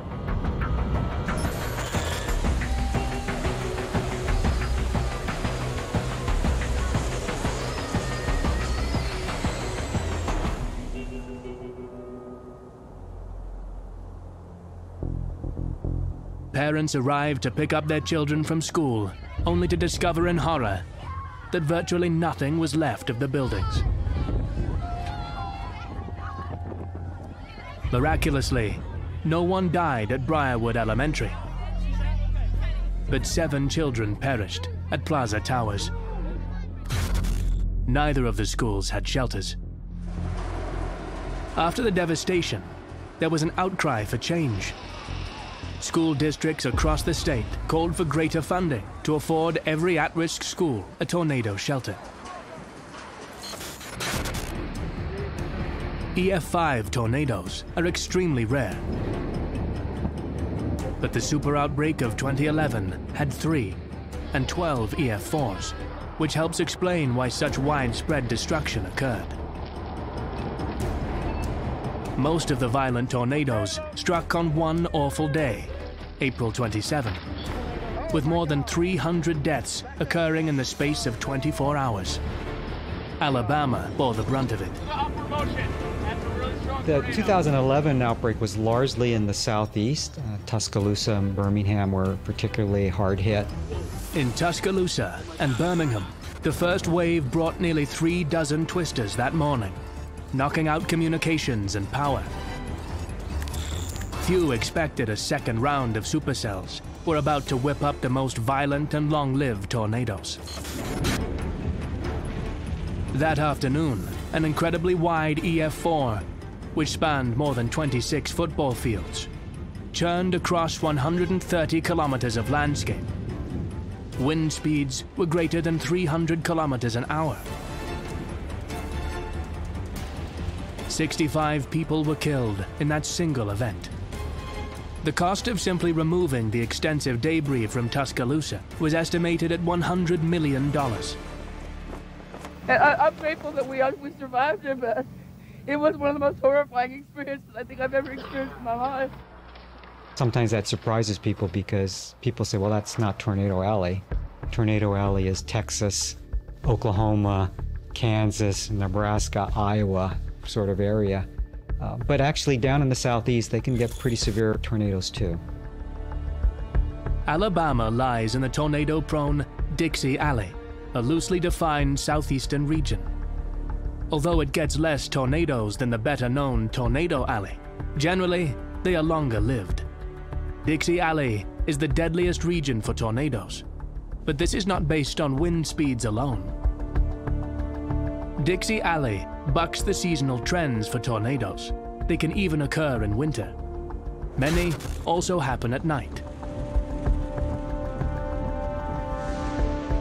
This leaves people less ready to respond to a warning, more likely to be taken by surprise.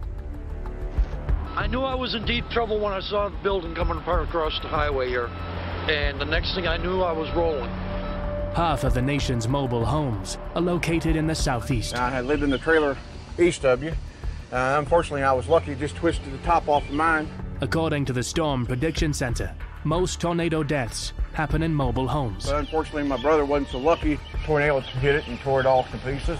Which are far less structurally sound than a well built house. Dixie Alley also has a different landscape. Much of it is covered in trees, is hilly and humid. Clouds hang lower, and tornadoes can be harder to see.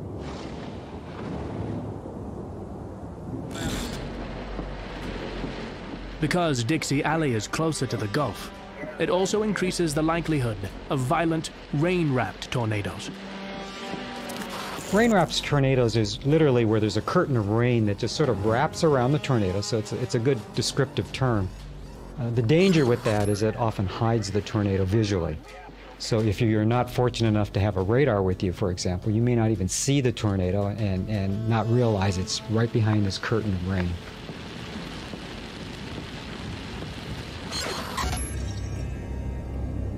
How big a tornado actually is seems to be as much a matter of opinion as it is science. Defining tornado size is problematic because everyone has their own definition. People who are out chasing look at the condensation funnel and say, that's how wide the tornado is. Worse, they're just looking at it and estimating and saying, that looks two miles wide. It's very crude, just eyewitness reports of what they think they're seeing. The Weather Service rates tornadoes by how wide a swath of damage they make. My team rates tornadoes by how big the wind circulation is, because we're making detailed maps of what the winds are. Still, some tornadoes are much, much wider than others. The widest tornado that we've ever documented, and we're in agreement with other methods of documenting width of tornadoes, was back in 2013 in central Oklahoma, near a town called El Reno. And that tornado had a width of damaging winds that we mapped that at times was four or five kilometers wide. It was extremely broad. But this was a very complex tornado. It didn't just have a single swirl of wind. Inside that were these other most violent features of the tornado that were spinning around it. Like many multi-vortex tornadoes, the El Reno Twister proved to be highly unpredictable, dangerous, and difficult to navigate. The tornado essentially breaks down into multiple funnels all rotating around a common core. That actually happens fairly commonly with all tornadoes. Perhaps the unique aspect of the El Reno tornado is because the tornado itself was very large. These multiple funnels or suction vortices were also very large. It was one of the largest funnels ever. It was, we believe, an EF5 tornado, but it actually was rated EF3. There was some controversy about that.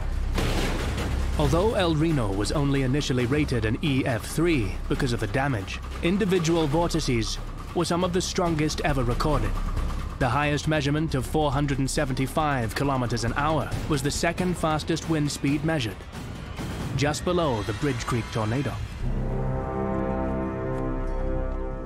The twister killed 20 people, including a team of researchers attempting to document the tornado.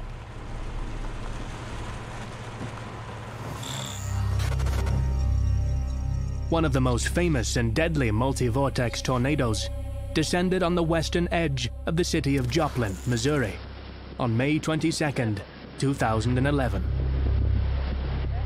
The Joplin tornado is well known because it went right through a medium sized small city. Back up. Oh no. And it turns out to be the seventh deadliest tornado in history. Why that's remarkable is the other tornadoes that were in that same ranking occurred many, many years, decades ago. So you would think with all the new technology, with all the new computers, with all the new satellite technology, how did we have an event that ranks number seven on the fatality list of tornadoes? The EF5 touched down at 5:41 p.m. on a Sunday evening, and weather services knew in advance it was coming. Why so many people died? Turns out it wasn't because the forecast was bad, because that might be one of the first guesses. Well, the forecast must have been terrible. They had no warning. They had actually quite a bit of warning. It turns out that a large part of this was the, the social response from the people. They went back and checked, and a lot of the people that heard the alarm go off waited to hear another confirmation. Somebody calling them to confirm that you better get out of the way, or watching on TV to see maybe a TV weather forecaster to come on. That delay of waiting for a second confirmation was not good. People needed to move, and they needed to move very quickly.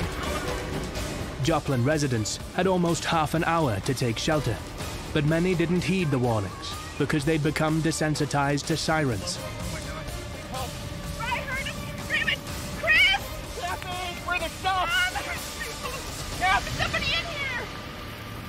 There's always a worry that you're crying wolf too much. That's been one of the hardest things to sort of reduce the false alarm rates. Oh, come here, sweetie. Come here, honey. Come here, sweetie. It's okay. It's not just hard science research, there's a social science aspect of how people react to warnings. And with the Joplin case, that couldn't be better illustrated. And that is what led to so many people dying. They simply didn't get out of the way when they were warned well ahead of time. It hit a substantial part of the town, so residential places, commercial places, and then also the Joplin Hospital um, was also impacted by that tornado. Views of the damage from the air give an idea of just how big and destructive the multi-vortex tornado was. Entire neighborhoods were blown away. What we say about suction vortices is that if you've looked at aerial damage photos, oftentimes you sort of see marks like this along a tornado track. So I often call them spirograph marks because that's literally what it is. And that's where the biggest or the strongest damage tends to occur. In 40 terrifying minutes, it devoured more than 7,000 homes, nearly 500 businesses, and claimed 161 lives. I had done an analysis several years before asking what if? What if a Joplin like tornado, what if a strong tornado like we had seen in Bridge Creek or even El Reno went through St. Louis or went through Chicago or went through Atlanta? And the what if consequences were huge. You could damage 50, 100,000 different homes. Potentially, you could kill 1,000 people if you went through the suburbs of one of these large cities. That was very hypothetical until we had seen Joplin. If the Joplin tornado had occurred just 50 miles from its where it went through Joplin, if it had gone through suburban St. Louis, you could have had outcomes much worse than that. And that was very sobering for those of us who were looking at these worst case kind of what if scenarios. Some scientists actually questioned whether the F5 was a high enough rating on the Fujita scale or whether we actually needed a higher rating on that scale to put into context how big that, that tornado really was. And the, the Joplin tornado was especially devastating in that it destroyed approximately one third of the physical landscape Joplin is characterized as a near miss event because it actually occurred on a Sunday. Had the Joplin tornado occurred on a school day, school administrators there after that terrible storm acknowledged that many school children likely would have perished in the Joplin schools that were so badly devastated in that tornado event. The giant tornado caused damage to around three quarters of Joplin's buildings. The following day, Missouri Task Force 1 was sent in to start clearing up the damage and searching for missing persons. I hope you do find somebody. Find information. Write it in a marker on their head if they do not have a head or a proper place to write. Write it on their torso. I don't want to see any information on their limbs. Okay. Don't worry about desecrating somebody's loved one. You're not. You're giving us information so we can get the loved one to them. They'll clean them up before they see him. Okay? Dog teams scoured piles of rubble to try to establish where people lay buried. Everything's gone. Nothing's ever gonna be the same again. Nothing's ever gonna be the same again. Even as scores of volunteers arrived to help clean up the disaster, the city remained in a state of high alert as storms gathered on the horizon once more and began to pummel the city.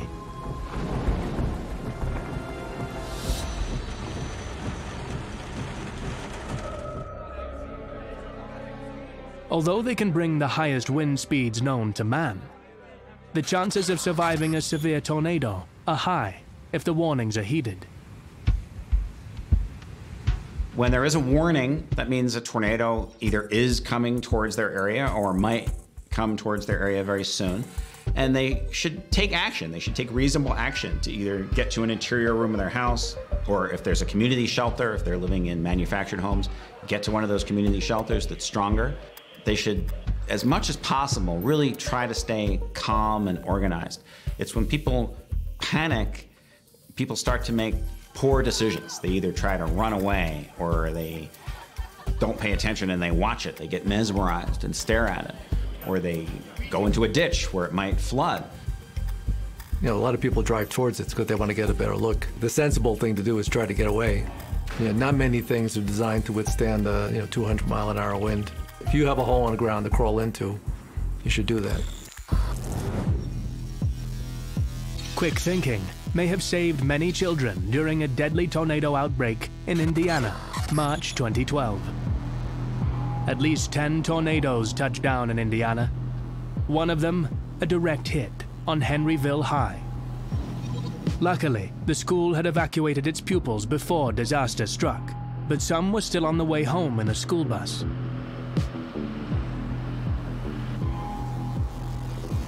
Surveillance video from inside the bus shows what may have been in store for the students had their bus driver not raced the storm and made it back to the school and undercover, three minutes before the twister struck.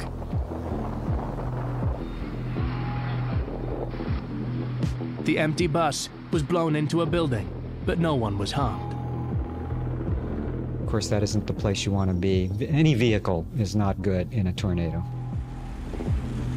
The tornado ran for a remarkable 77 kilometers and lasted almost an hour, hitting not just Henryville, but several other locations in its path. Right after it passed through, an EF-1 was hot on its heels, churning through almost exactly the same track. As if the two tornadoes weren't quite enough, baseball-size hail also came down, the largest ever recorded in Indiana, 12 centimeters in diameter.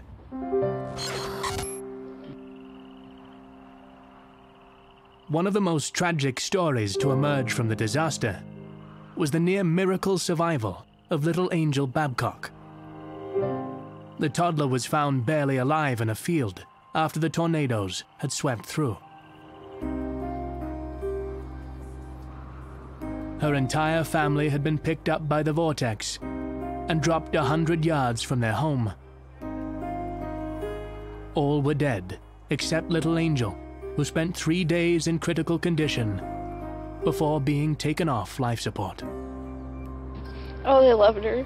I mean, we all loved all those kids.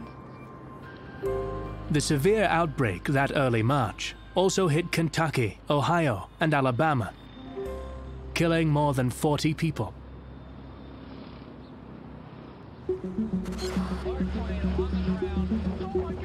Each year, seasonal outbreaks across the US bring their own set of tragedies.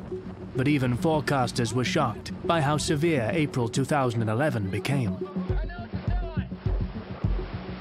The total number of tornadoes spawned that month, more than 750, represented nearly a five-fold increase on the norm. Why these outbreaks spawned so many tornadoes is not certain, but recent research suggests it could be part of a disturbing trend.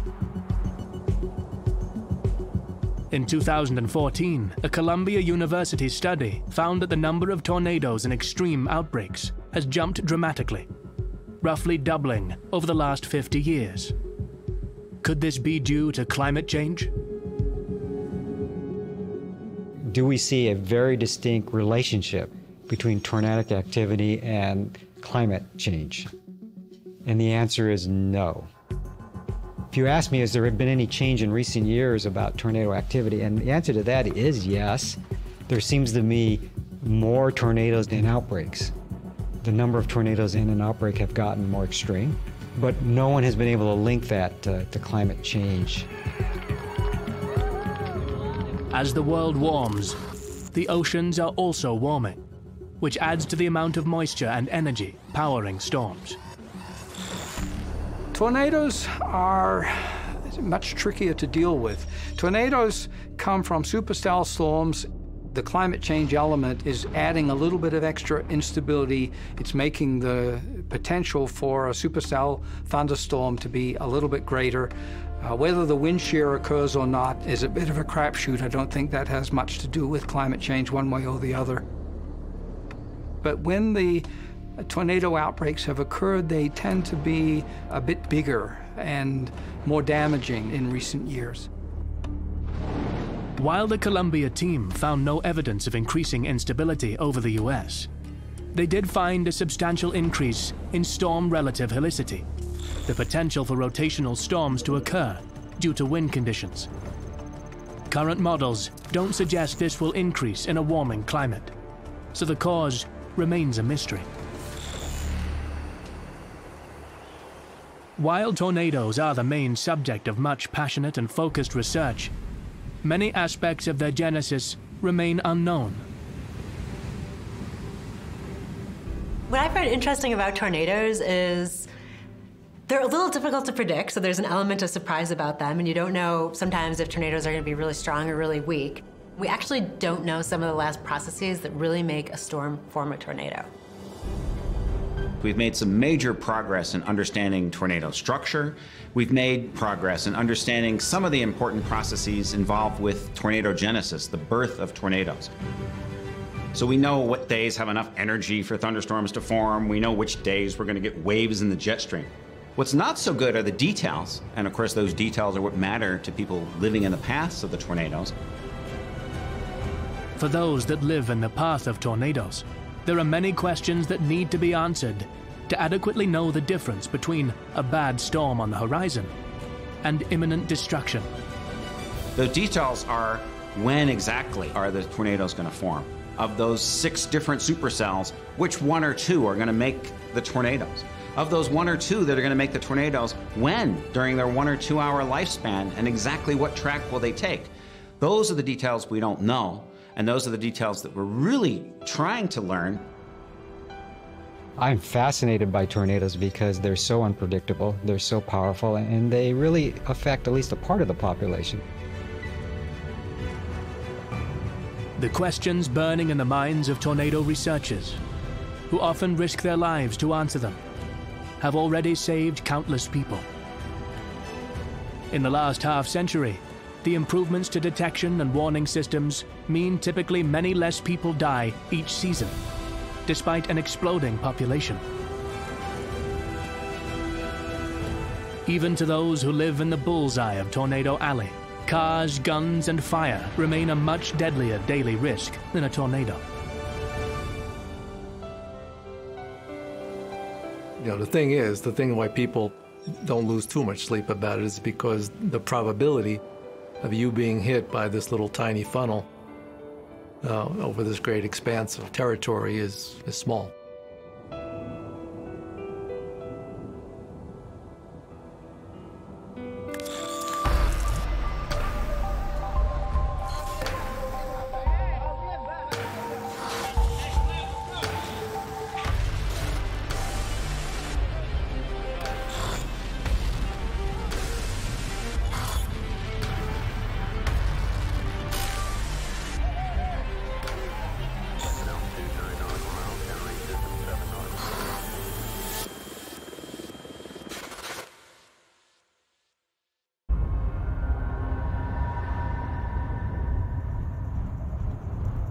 The most catastrophic natural disasters in human history happen when earthquakes hit large populations that aren't prepared.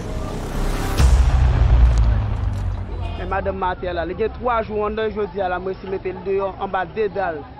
Nous retirer sous lui. There's mysteries that we may never solve. The one we'd love to solve is predicting the earthquakes. We don't have warnings that an earthquake is going to come in terms of knowing exactly where and how big an earthquake will be. Even a relatively minor quake can threaten millions and kill hundreds of thousands when it strikes a vulnerable country. One of the things that we need to keep in mind about disasters is that the physical event is merely the trigger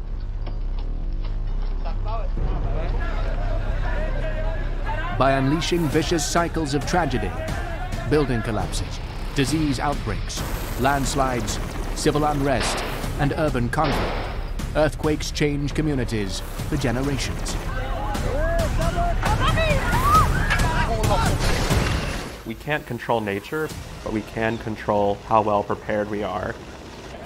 Amid the death and devastation, each major earthquake leaves crucial lessons for survival. It often requires a tragedy to bring about change or to recognise that there is a need to change. What have we learned from living with earthquakes? And how will that help us when our world starts shaking?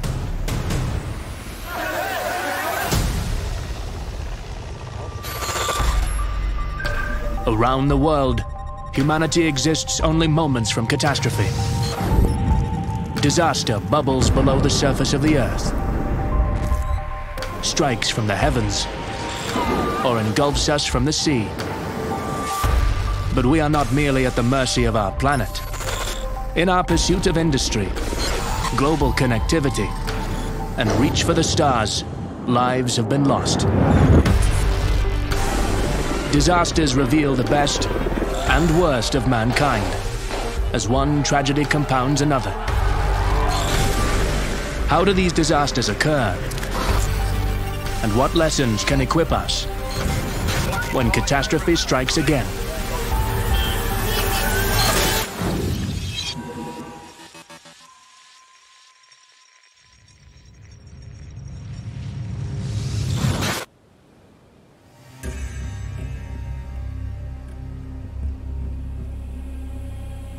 Between North and South America is the Caribbean, a chain of hundreds of islands. One of the largest, Haiti, is the most mountainous Caribbean nation, with a population of more than 10 million people.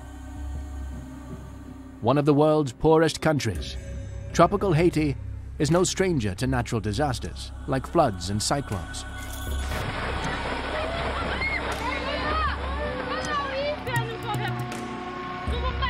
Over the last few centuries, it's been hit by at least 15 major earthquakes. But the one that struck Haiti's capital, Port-au-Prince, on a January afternoon in 2010 has become infamous. Not so much for the size of the earthquake, but for the extreme devastation it caused.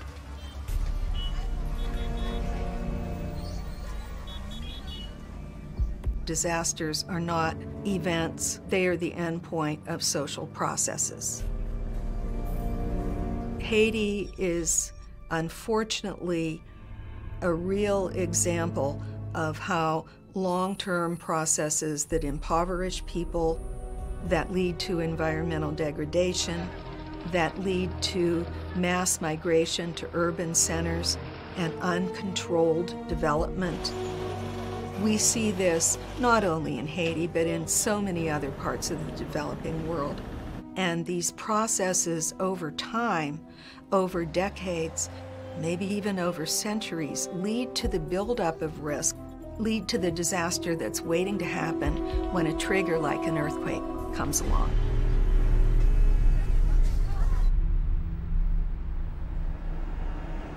But to really understand the genesis of this disaster, we need to start deep in geological time, with the formation of the Earth itself.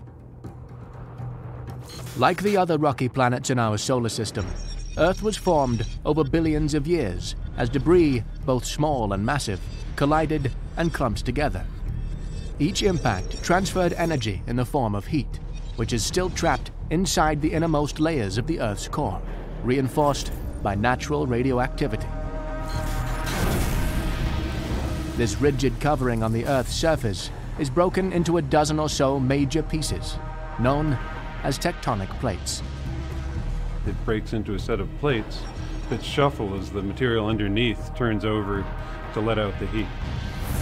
They move around and they jostle, they rub against each other, and they, in some cases they dive beneath each other. Stress builds up on zones of weakness like at the plate boundaries, but also on faults interior to the plate. And it takes stress accumulating for decades or centuries before the forces build up to where it cracks and breaks and moves.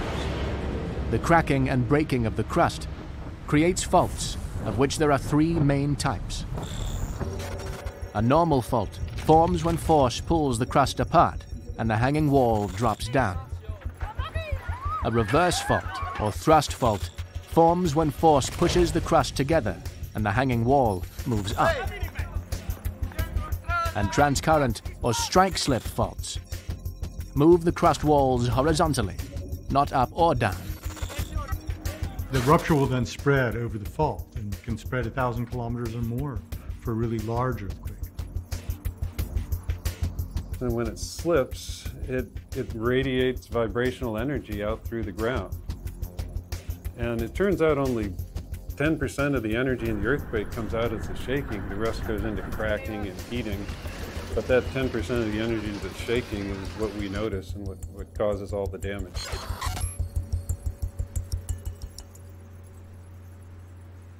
In a sense, we can trace the origin of earthquakes today back to the birth of the solar system. But all that is cold comfort to the people of Haiti, who happen to live on a turbulent shunting yard of tectonic plates. Broad plate tectonics that, that drove the forces that caused the Haiti earthquake was an interaction between the Caribbean plate and the North American plate. The North American plate actually wraps around the Caribbean plate, and the Caribbean plate moves eastward relative to the North American plate. And when it impinges the North American plate to the east, it actually goes underneath the Caribbean plate. And then to the west, the North American plate and the Caribbean plate actually slide past each other. So the Haiti earthquake happened kind of in a region where both these effects were going on. Parts of the fault have been locked for centuries, accumulating stress. Without warning, they suddenly let go just before 5 in the afternoon on the 12th of January, 2010.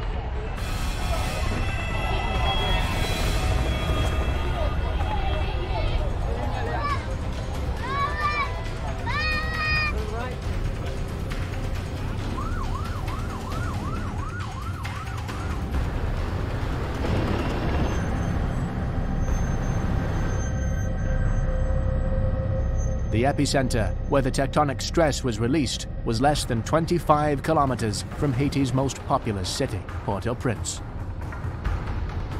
The impact was so devastating that the true death toll may never be known. The estimates range from 80,000 to 330,000, with most people agreeing that it was somewhere in the neighborhood of about 220,000. Na peine marié. Na peine marié avec madame. Et madame Maté là, il y a trois jours en deux jeudi à la moi si mettre le dehors en bas des dalles. Nous retirer sous lui. The earthquake was a magnitude 7, and it was deadly. What made it deadly was the fact that it was very close to a populated center. There were about 2.4 million people exposed to violent shaking from the Haiti earthquake. What turned this from a disaster into a catastrophe was the fact that those buildings in the region were very brittle and could fall in the earthquake shaking. Within the Caribbean, Most countries there uh, use uh, the Caribbean Uniform Building Code, but not so in Haiti. And so as a result, when they did have that earthquake, uh, you had a very vulnerable building stock, and hence you had the consequences that we saw. Many of the multi-story buildings of Port-au-Prince became death traps when their unreinforced brick walls broke apart, piling up concrete floor slabs in what's known as a pancake collapse.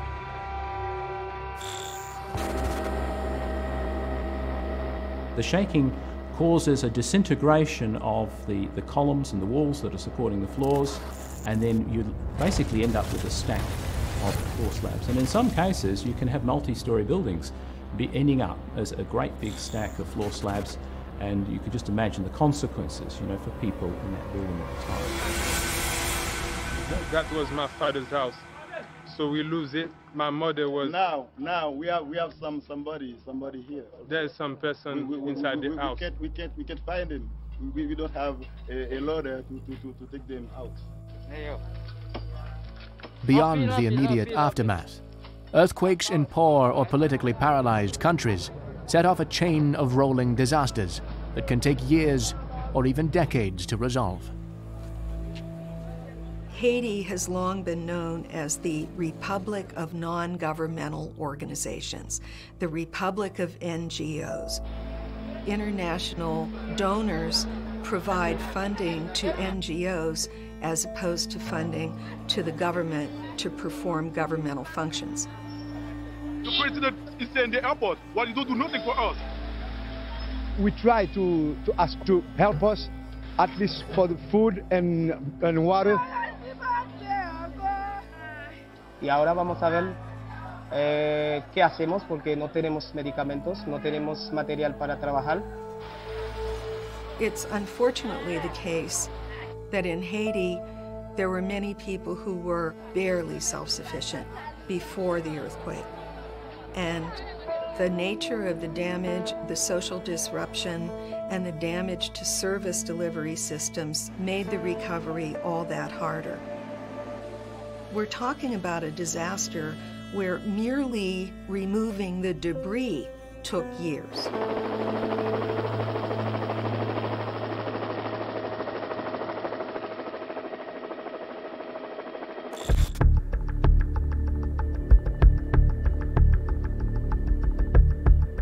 But it's not just poorer countries at risk of rolling disasters. Typically, the less developed a society is, probably the less prepared it can be for these major disasters. Californians need to be prepared because in their state, the Pacific Plate grinds past the North American Plate in a tectonic boundary known as the San Andreas Fault. The fault extends for 1,500 kilometers, arcing right through the richest and most populous state in the U.S.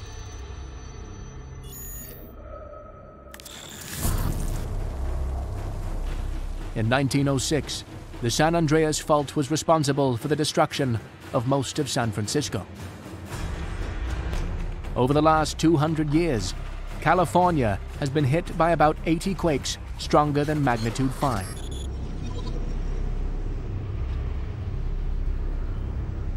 San Fernando Valley is a densely populated urban area not far from downtown Los Angeles. Half past four on a Monday morning, residents of Northridge had no idea what they were about to wake up to. For about 20 seconds, a magnitude 6.7 earthquake shook the city with the strongest ground motion ever recorded in urban North America. A minute later, there was a magnitude 6 aftershock. But this time, the San Andreas Fault was not directly responsible.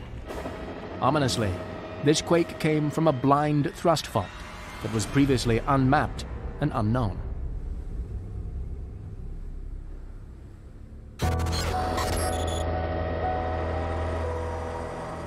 Prepare yourselves! Shut off the gas, shut off electricity, store water in your bathtub. Don't expect services for 72 hours.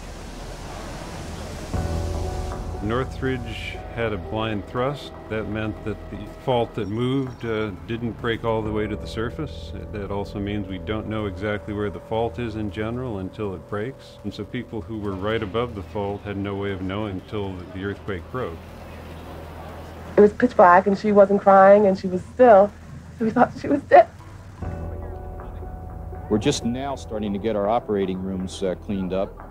We, we're still unable to sterilize instruments, so we really can't perform any major surgery. 57 people were killed, some immediately, some within a few days of their injuries, and others from indirect causes, such as stress-induced heart attacks.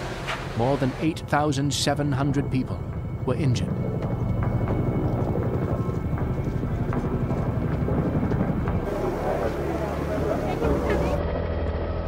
To the damage caused by the earthquake, I have, by signing the document that I will sign at the end of this statement, declared these areas of California to be a major disaster.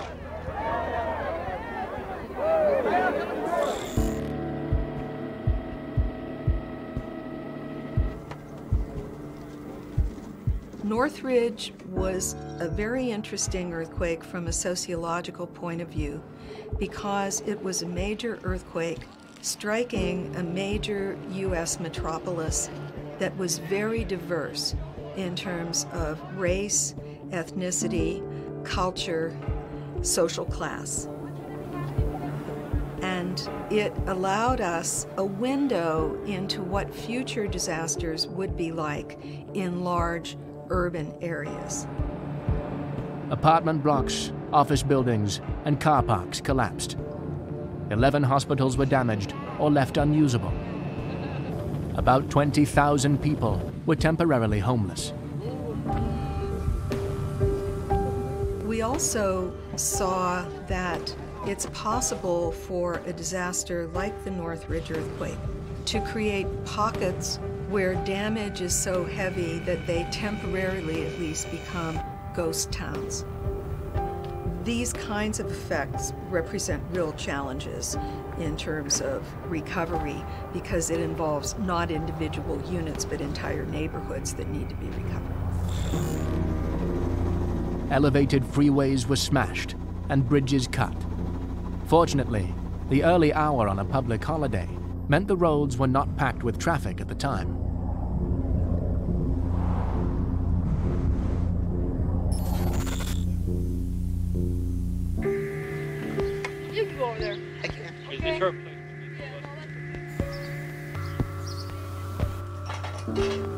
Property damage was estimated to be worth more than $20 billion, making it one of the costliest natural disasters in U.S. history.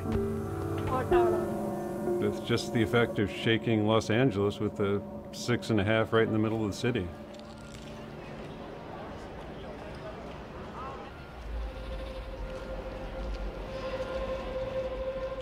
The cost of payouts was so high that many insurance companies either stopped offering or severely restricted earthquake insurance in California. In response, a state authority was established to provide basic insurance. Here you had a very large metropolitan area with many housing units damaged, many public buildings damaged, hospitals damaged, infrastructure such as freeways damaged. So the costs go up where there are lots and lots of valuable assets.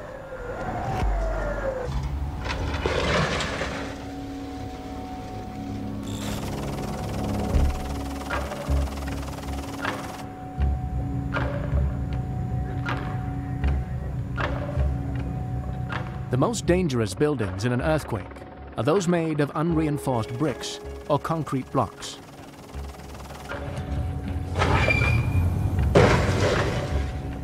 We talk about better building regulations, building a, a, better future, but you have the other problem of the legacy of the past.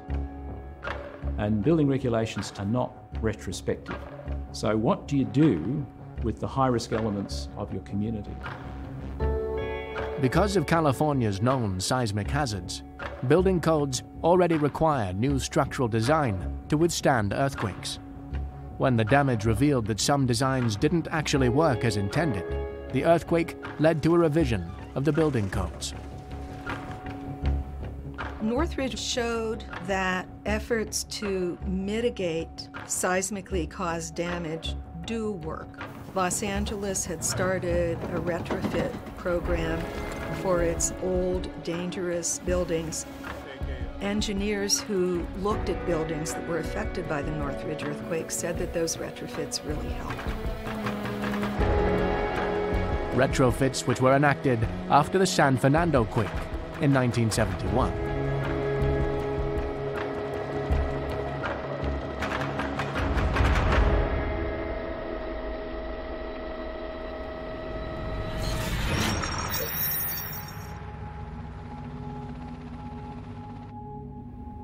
hitting at 6 a.m., a 6.6 magnitude earthquake rocked the San Fernando Valley for 12 seconds. Collapsing highways, hospitals, and homes. The quake had also caused parts of the lower San Fernando Dam to collapse, leaving only a thin dirt wall between it and the 80,000 residents below. Attention all residents to evacuate this area immediately. Worry when I saw the first broadcast what was left of the dam. In fear of aftershocks, the valley was evacuated as the dam level was lowered.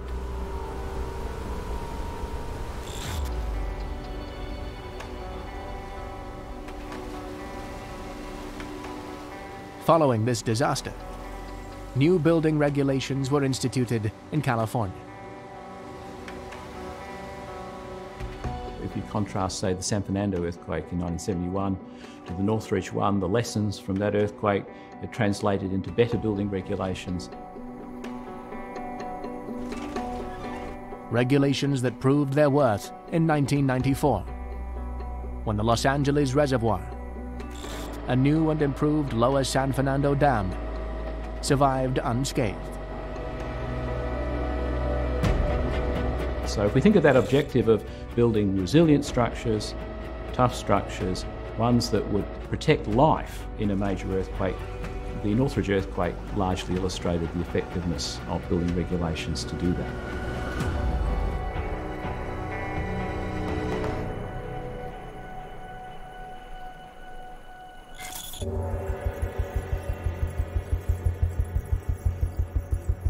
Can a building in an active fault zone be made earthquake resistant?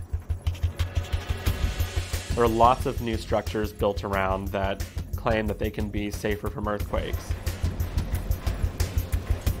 そこからいざ地震という時にあのどういう場所で落ち合うとか駅の近くの風景だとか見せておいた方が子供がいざという時に安心できるかなと思ってあのずっと来てで帰りに父親に寄ってして体験して今日はもう地震ツアーです。There are great uncertainties as to our knowledge of just what the earthquake hazard is. Uh, seismologists go to great lengths to understand what has occurred in the past, the understanding of how earthquake waves propagate through the crust. So, what often will protect our building through an earthquake or make it perform adequately is a toughness, so that even if it's overloaded, the overall behaviour is a ductile one, it can absorb energy. Here at the Southern California Earthquake Center, we take our science to these engineers so they can build the safest buildings possible so that it's a data informed structure. But again, we just won't really know how it's actually going to function until after the next earthquake. It might be so badly damaged at the end that it's an economic decision to demolish it and rebuild, but nevertheless, uh, it's a safe structure.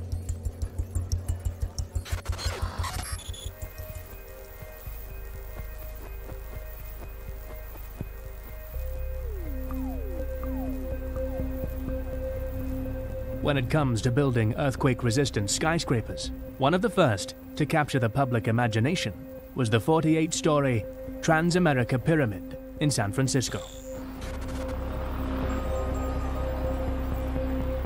Interestingly, that building, the construction started in 1968, so it was uh, built in the context of US building regulations without the learnings of the 1971 San Fernando earthquake.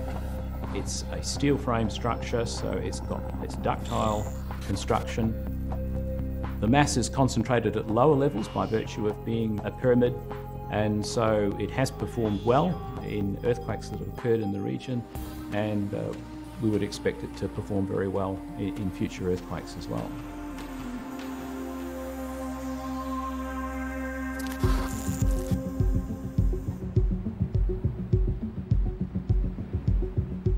Wilshire Grand is the tallest building in California.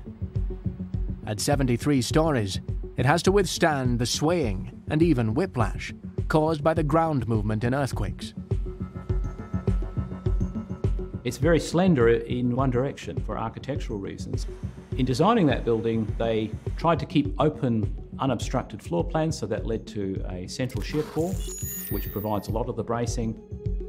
But they also used a, a common technique for those taller structures, which we call outriggers. So at three levels, they had an outrigger system that reached out uh, to the exterior columns uh, to provide a, stabilizing action as well, to stiffen the structure uh, for wind and earthquake. Like a reed in the wind, it bends in a seismic event. This building is designed to ride out the major credible event in the Los Angeles Basin, which is 8.3 on the San Andreas, coupled with the other local faults.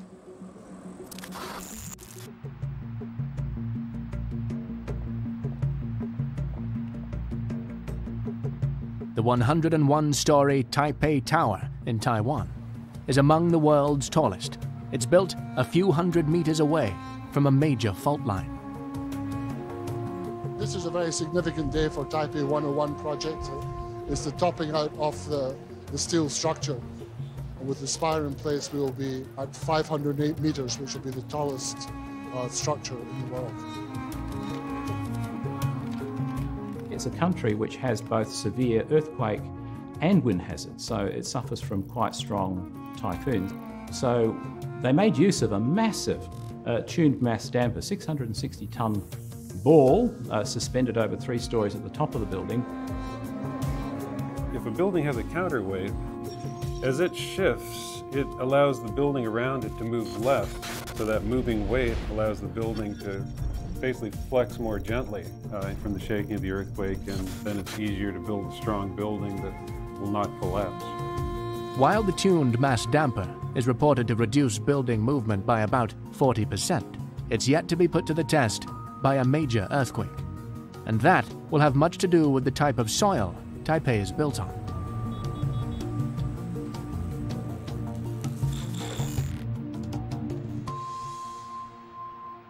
As our buildings grow taller to help accommodate an exploding population, the very land that supports their foundations can exacerbate the effects of an earthquake. One of the common problems in earthquakes is that the cities are built in kind of low-lying flat areas near rivers and ports. And often that means the geological structure underneath is uh, very soft soil and wet soil. The composition of the geological layers below our cities has a dramatic effect on the way seismic waves propagate.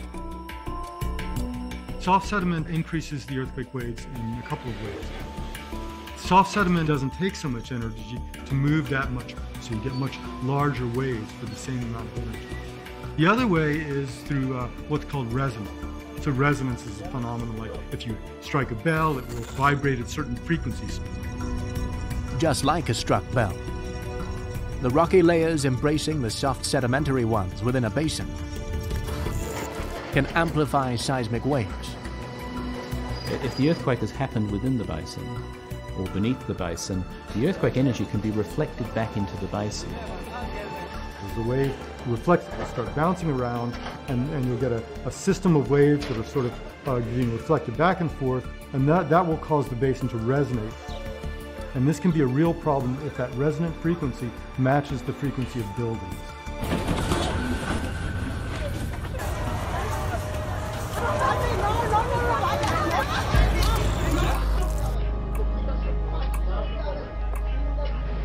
The problem is that when buildings resonate at the same frequency as the seismic waves, they shake themselves to bits. What devastated Port-au-Prince wasn't just rickety buildings. Because the city is built on loose soil, the shaking was amplified. Well, soft sediment is most like a jello on a plate. If you shake the plate a little bit, the jello shakes a lot. And so Port-au-Prince on the soft ground shook much more than the buildings on the nearby hard ground.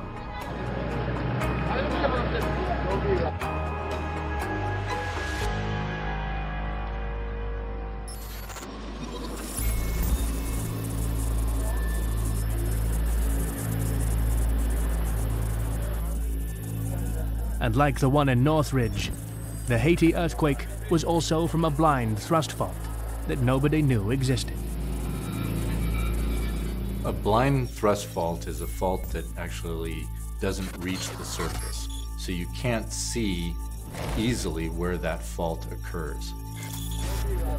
When that earthquake first occurred, we looked at the maps of fault, we looked at aerial pictures, and there's a large strike slip fault that runs through southern Haiti. And then we went in afterwards and did surveys and looked at how the ground moved by looking at displacement of corals and GPS measurements. And it became apparent that that wasn't the main culprit. There may have been some movement on that fault, but it was more likely a blind thrust fault off that main strand in Haiti that caused the shaking and caused the damage.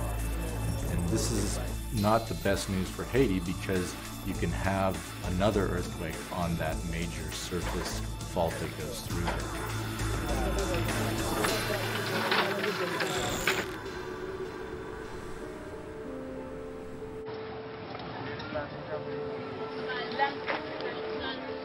With Haiti's earthquake, the combination of no warning, unknown fault, amplified shaking, vulnerable population, and low quality buildings was lethal on a tragically epic scale. People were, of course, accustomed to living in very substandard conditions, even before the earthquake. But the displacement of people, the breaking of their social ties, their neighborhood ties. Just like, you know, when you sleep in the night, you got one eye open, one eye closed. You don't ever sleep well. The placement of some of the emergency camps was not all that it could have been in terms of access to jobs and transportation. Pa gen ouken instans konserne, même même au niveau l'État, qui viennent passer pour ouais, pep sa kap soufri la. Nou pa gen d'lou, nou pa gen manje, nou pa gen santé. So there were a lot of additional stressors that people were experiencing that could lead to poor health outcomes.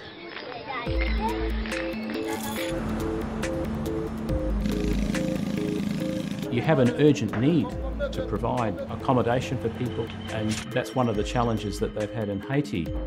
Now that they're rebuilding, it's very hard to enforce better building regulations because people have this urgency, and the old practices uh, do tend to come back because often they're cheaper and more understood. So you can have a, quite a challenge of building back better so that you're ending up with a more resilient community after the event.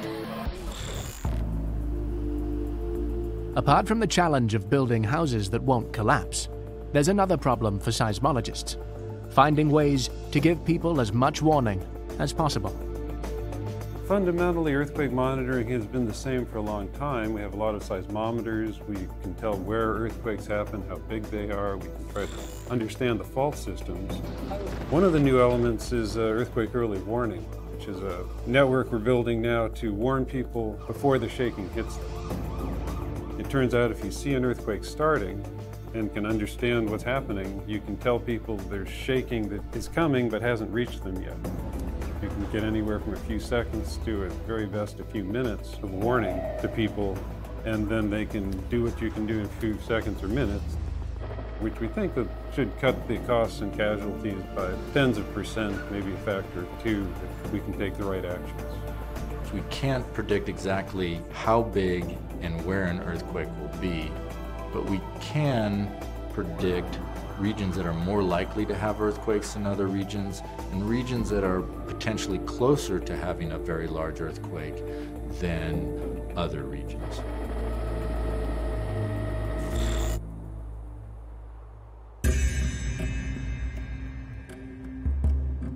One of those seismic hotspots where earthquakes are likely is the Himalayas, the biggest collision of plate tectonics happening on Earth today.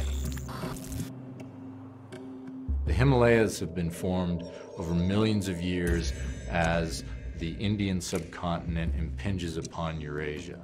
This causes the mountains to rise as the Indian plate subducts beneath the Eurasian plate.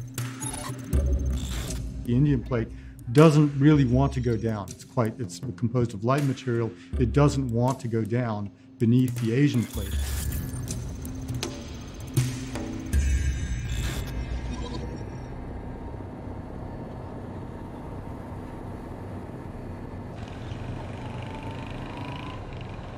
Kashmir is disputed territory between India, Pakistan, and China. Its rugged mountainous landscape is dominated by the Himalayas and the tectonic stresses built up deep below.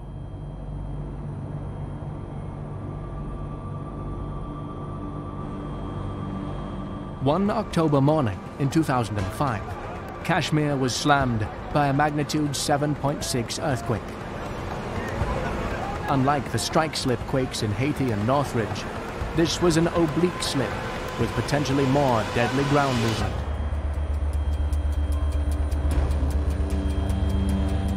एक एकदम से एकदम से पाँच second क्या चीज़ होती है I think पाँच सेकंड से जल्दी कुछ भी नहीं होता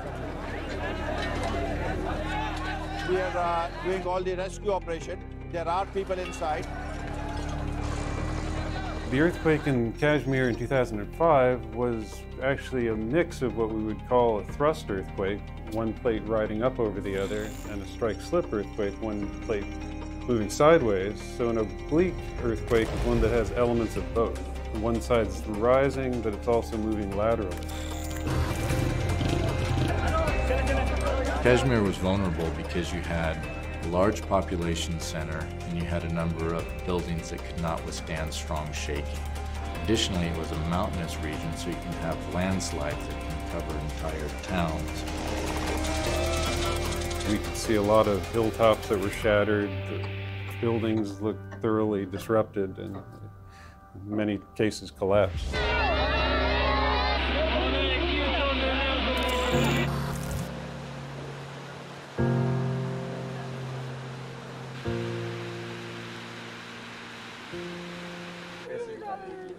An estimated 3 million people were left homeless. More than 80,000 people perished.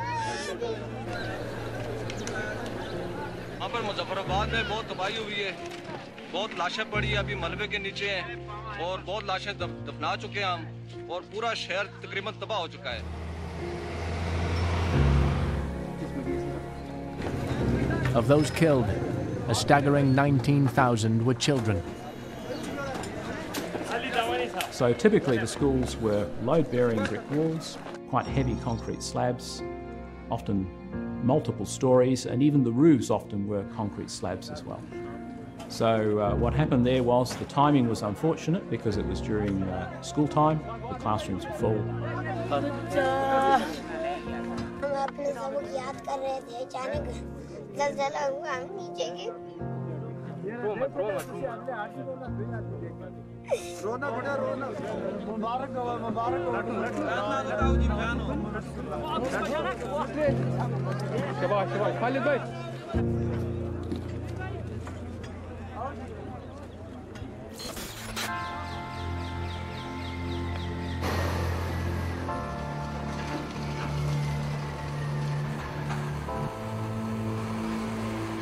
The strategy basically they will have to dig into the building. We'll try to reach to the people and whatever we can find. The Kashmir earthquake was a watershed for change, and in 2007 the building regulations did change. They align quite closely with world standard building regulations, notably the ones in the US, the Uniform Building Code. And then also there was an improved assessment of the seismic hazard in Pakistan because if you want to design for earthquakes, you need to understand the likelihood of ground shaking. While tragedy may have forced change, the Himalayan region remains vulnerable to earthquakes, partly due to its remote and inaccessible nature. It can be extremely difficult because you have a lot of landslides which cover roads, which isolate towns. The only way to get resources in are via helicopters. And it can take a long time even to figure out how much damage has occurred in a, in a region like that.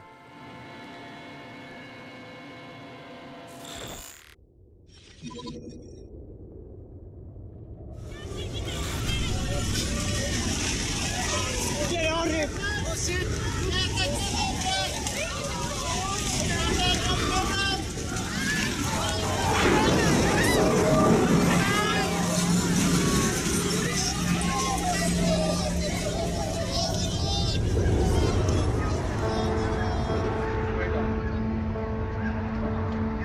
magnitude 7.8 earthquake in Nepal in 2015 killed 9,000. More than 3 million were made homeless, with entire villages flattened. We just felt some fresh tremors here. Big pieces of ice came down from this glacier today. The quake triggered a disaster on Mount Everest when an avalanche swept into the base camp where several hundred climbers were staying. At least 19 people were killed, with 120 others injured or missing.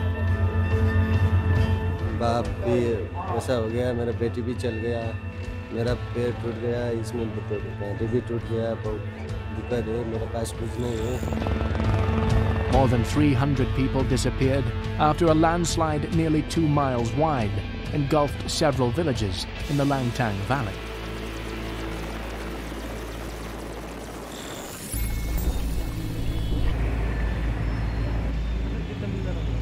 Although hampered by heavy rainfall, landslides, and aftershock, Nepalese soldiers mobilized for search and rescue, managing to find survivors for a week after the earthquake. International teams, French, Polish, American, swung into action to assist. We were told that there's voices heard in a void space. We're going to go out, hopefully locate that victim, and we're going to go ahead and have the uh, rescue squad come in and help extricate that victim out of the hole. Five days after the quake, there was jubilation as 15 year old Pemba Tamang was pulled free from the rubble of Kathmandu unharmed. It's what we call an entombment. So he wasn't specifically crushed, but what he was was inside of a box, a box with heavy concrete all around him. So we worked side by side with the local teams, and we were there to assist them in getting this victim out. The level of damage was deep and widespread. Many fear that destruction like this could become more common in Nepal.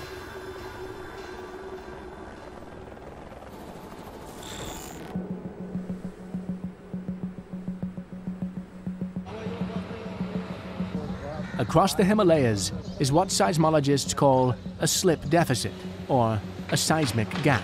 Without enough earthquakes to relieve the stress that's known to be accumulating between the tectonic plates, there is the potential that several very large and catastrophic quakes could be unleashed.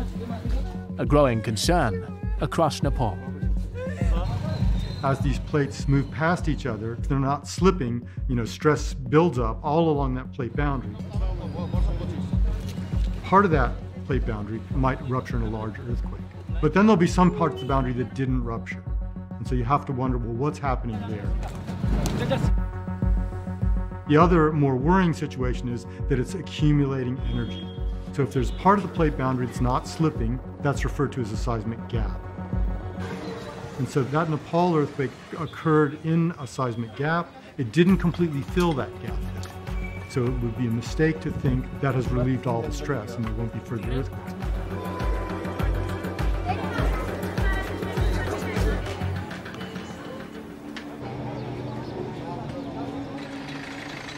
Although Nepal's quake was devastating, earthquakes of that moment magnitude are fairly common. Each year, 14 magnitude 7 earthquakes and at least one magnitude 8 occur. But when it comes to rating earthquakes on their strength, what does the moment magnitude scale measure? Before the moment magnitude scale was developed in the 70s, we really relied on the amount of shaking that was observed in an earthquake to determine how big that earthquake is. It's a very simple measurement. The moment magnitude scale is important because it's proportional to the area of the fault that ruptured in that earthquake and also the amount that fault moved in the earthquake. And so it's a more physical measurement than simply looking at the shaking from the attack. Magnitude's a number that's logarithmic, and what that means is every time you step by a magnitude unit, you're increasing the motion by about a factor of 10 and the energy by about a factor of 30.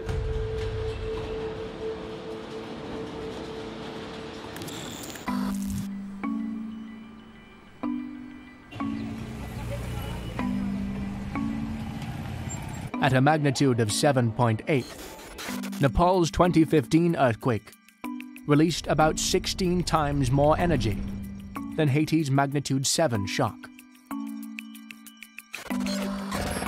But the strength of these devastating earthquakes pales in comparison to the largest in recorded history.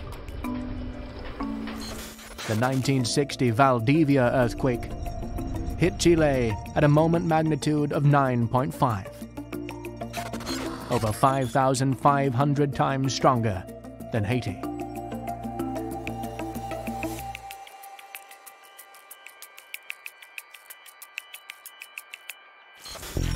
But the energy an earthquake releases does not always translate into human devastation.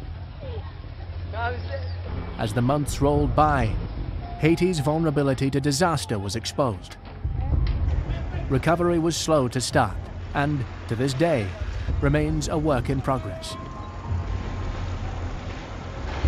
With so many unburied bodies, the conditions after the quake led to concerns of a disease epidemic. An outbreak arose from sewage discharging into a river, but from an unexpected source. And one of the most tragic things that came out of Haiti was that the UN contingent of soldiers that was sent in from Nepal set off a cholera epidemic that killed additional thousands of people and affected a high proportion of the entire population.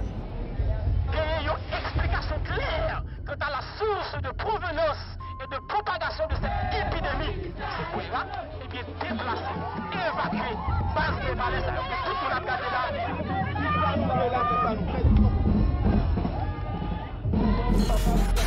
Six years after the outbreak, cholera was still killing around 40 people every month. In 2017, about 800,000 people, 7% of the population, had been infected with cholera, and more than 9,000 Haitians had died.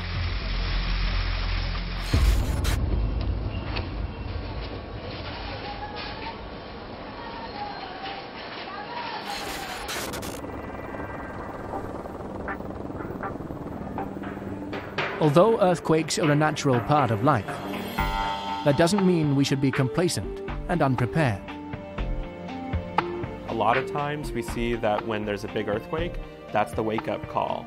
But the wake up call should just be knowing that you live in an area where earthquakes are common or can happen. How we build, where we live, and how we learn can be the difference between life and death. In Haiti, as in many, many parts of the less developed world, you have settlements springing up and growing in areas that are inherently hazardous. As our population explodes and the dangers earthquakes represent increase, our quest to understand and predict these events could save the lives of millions.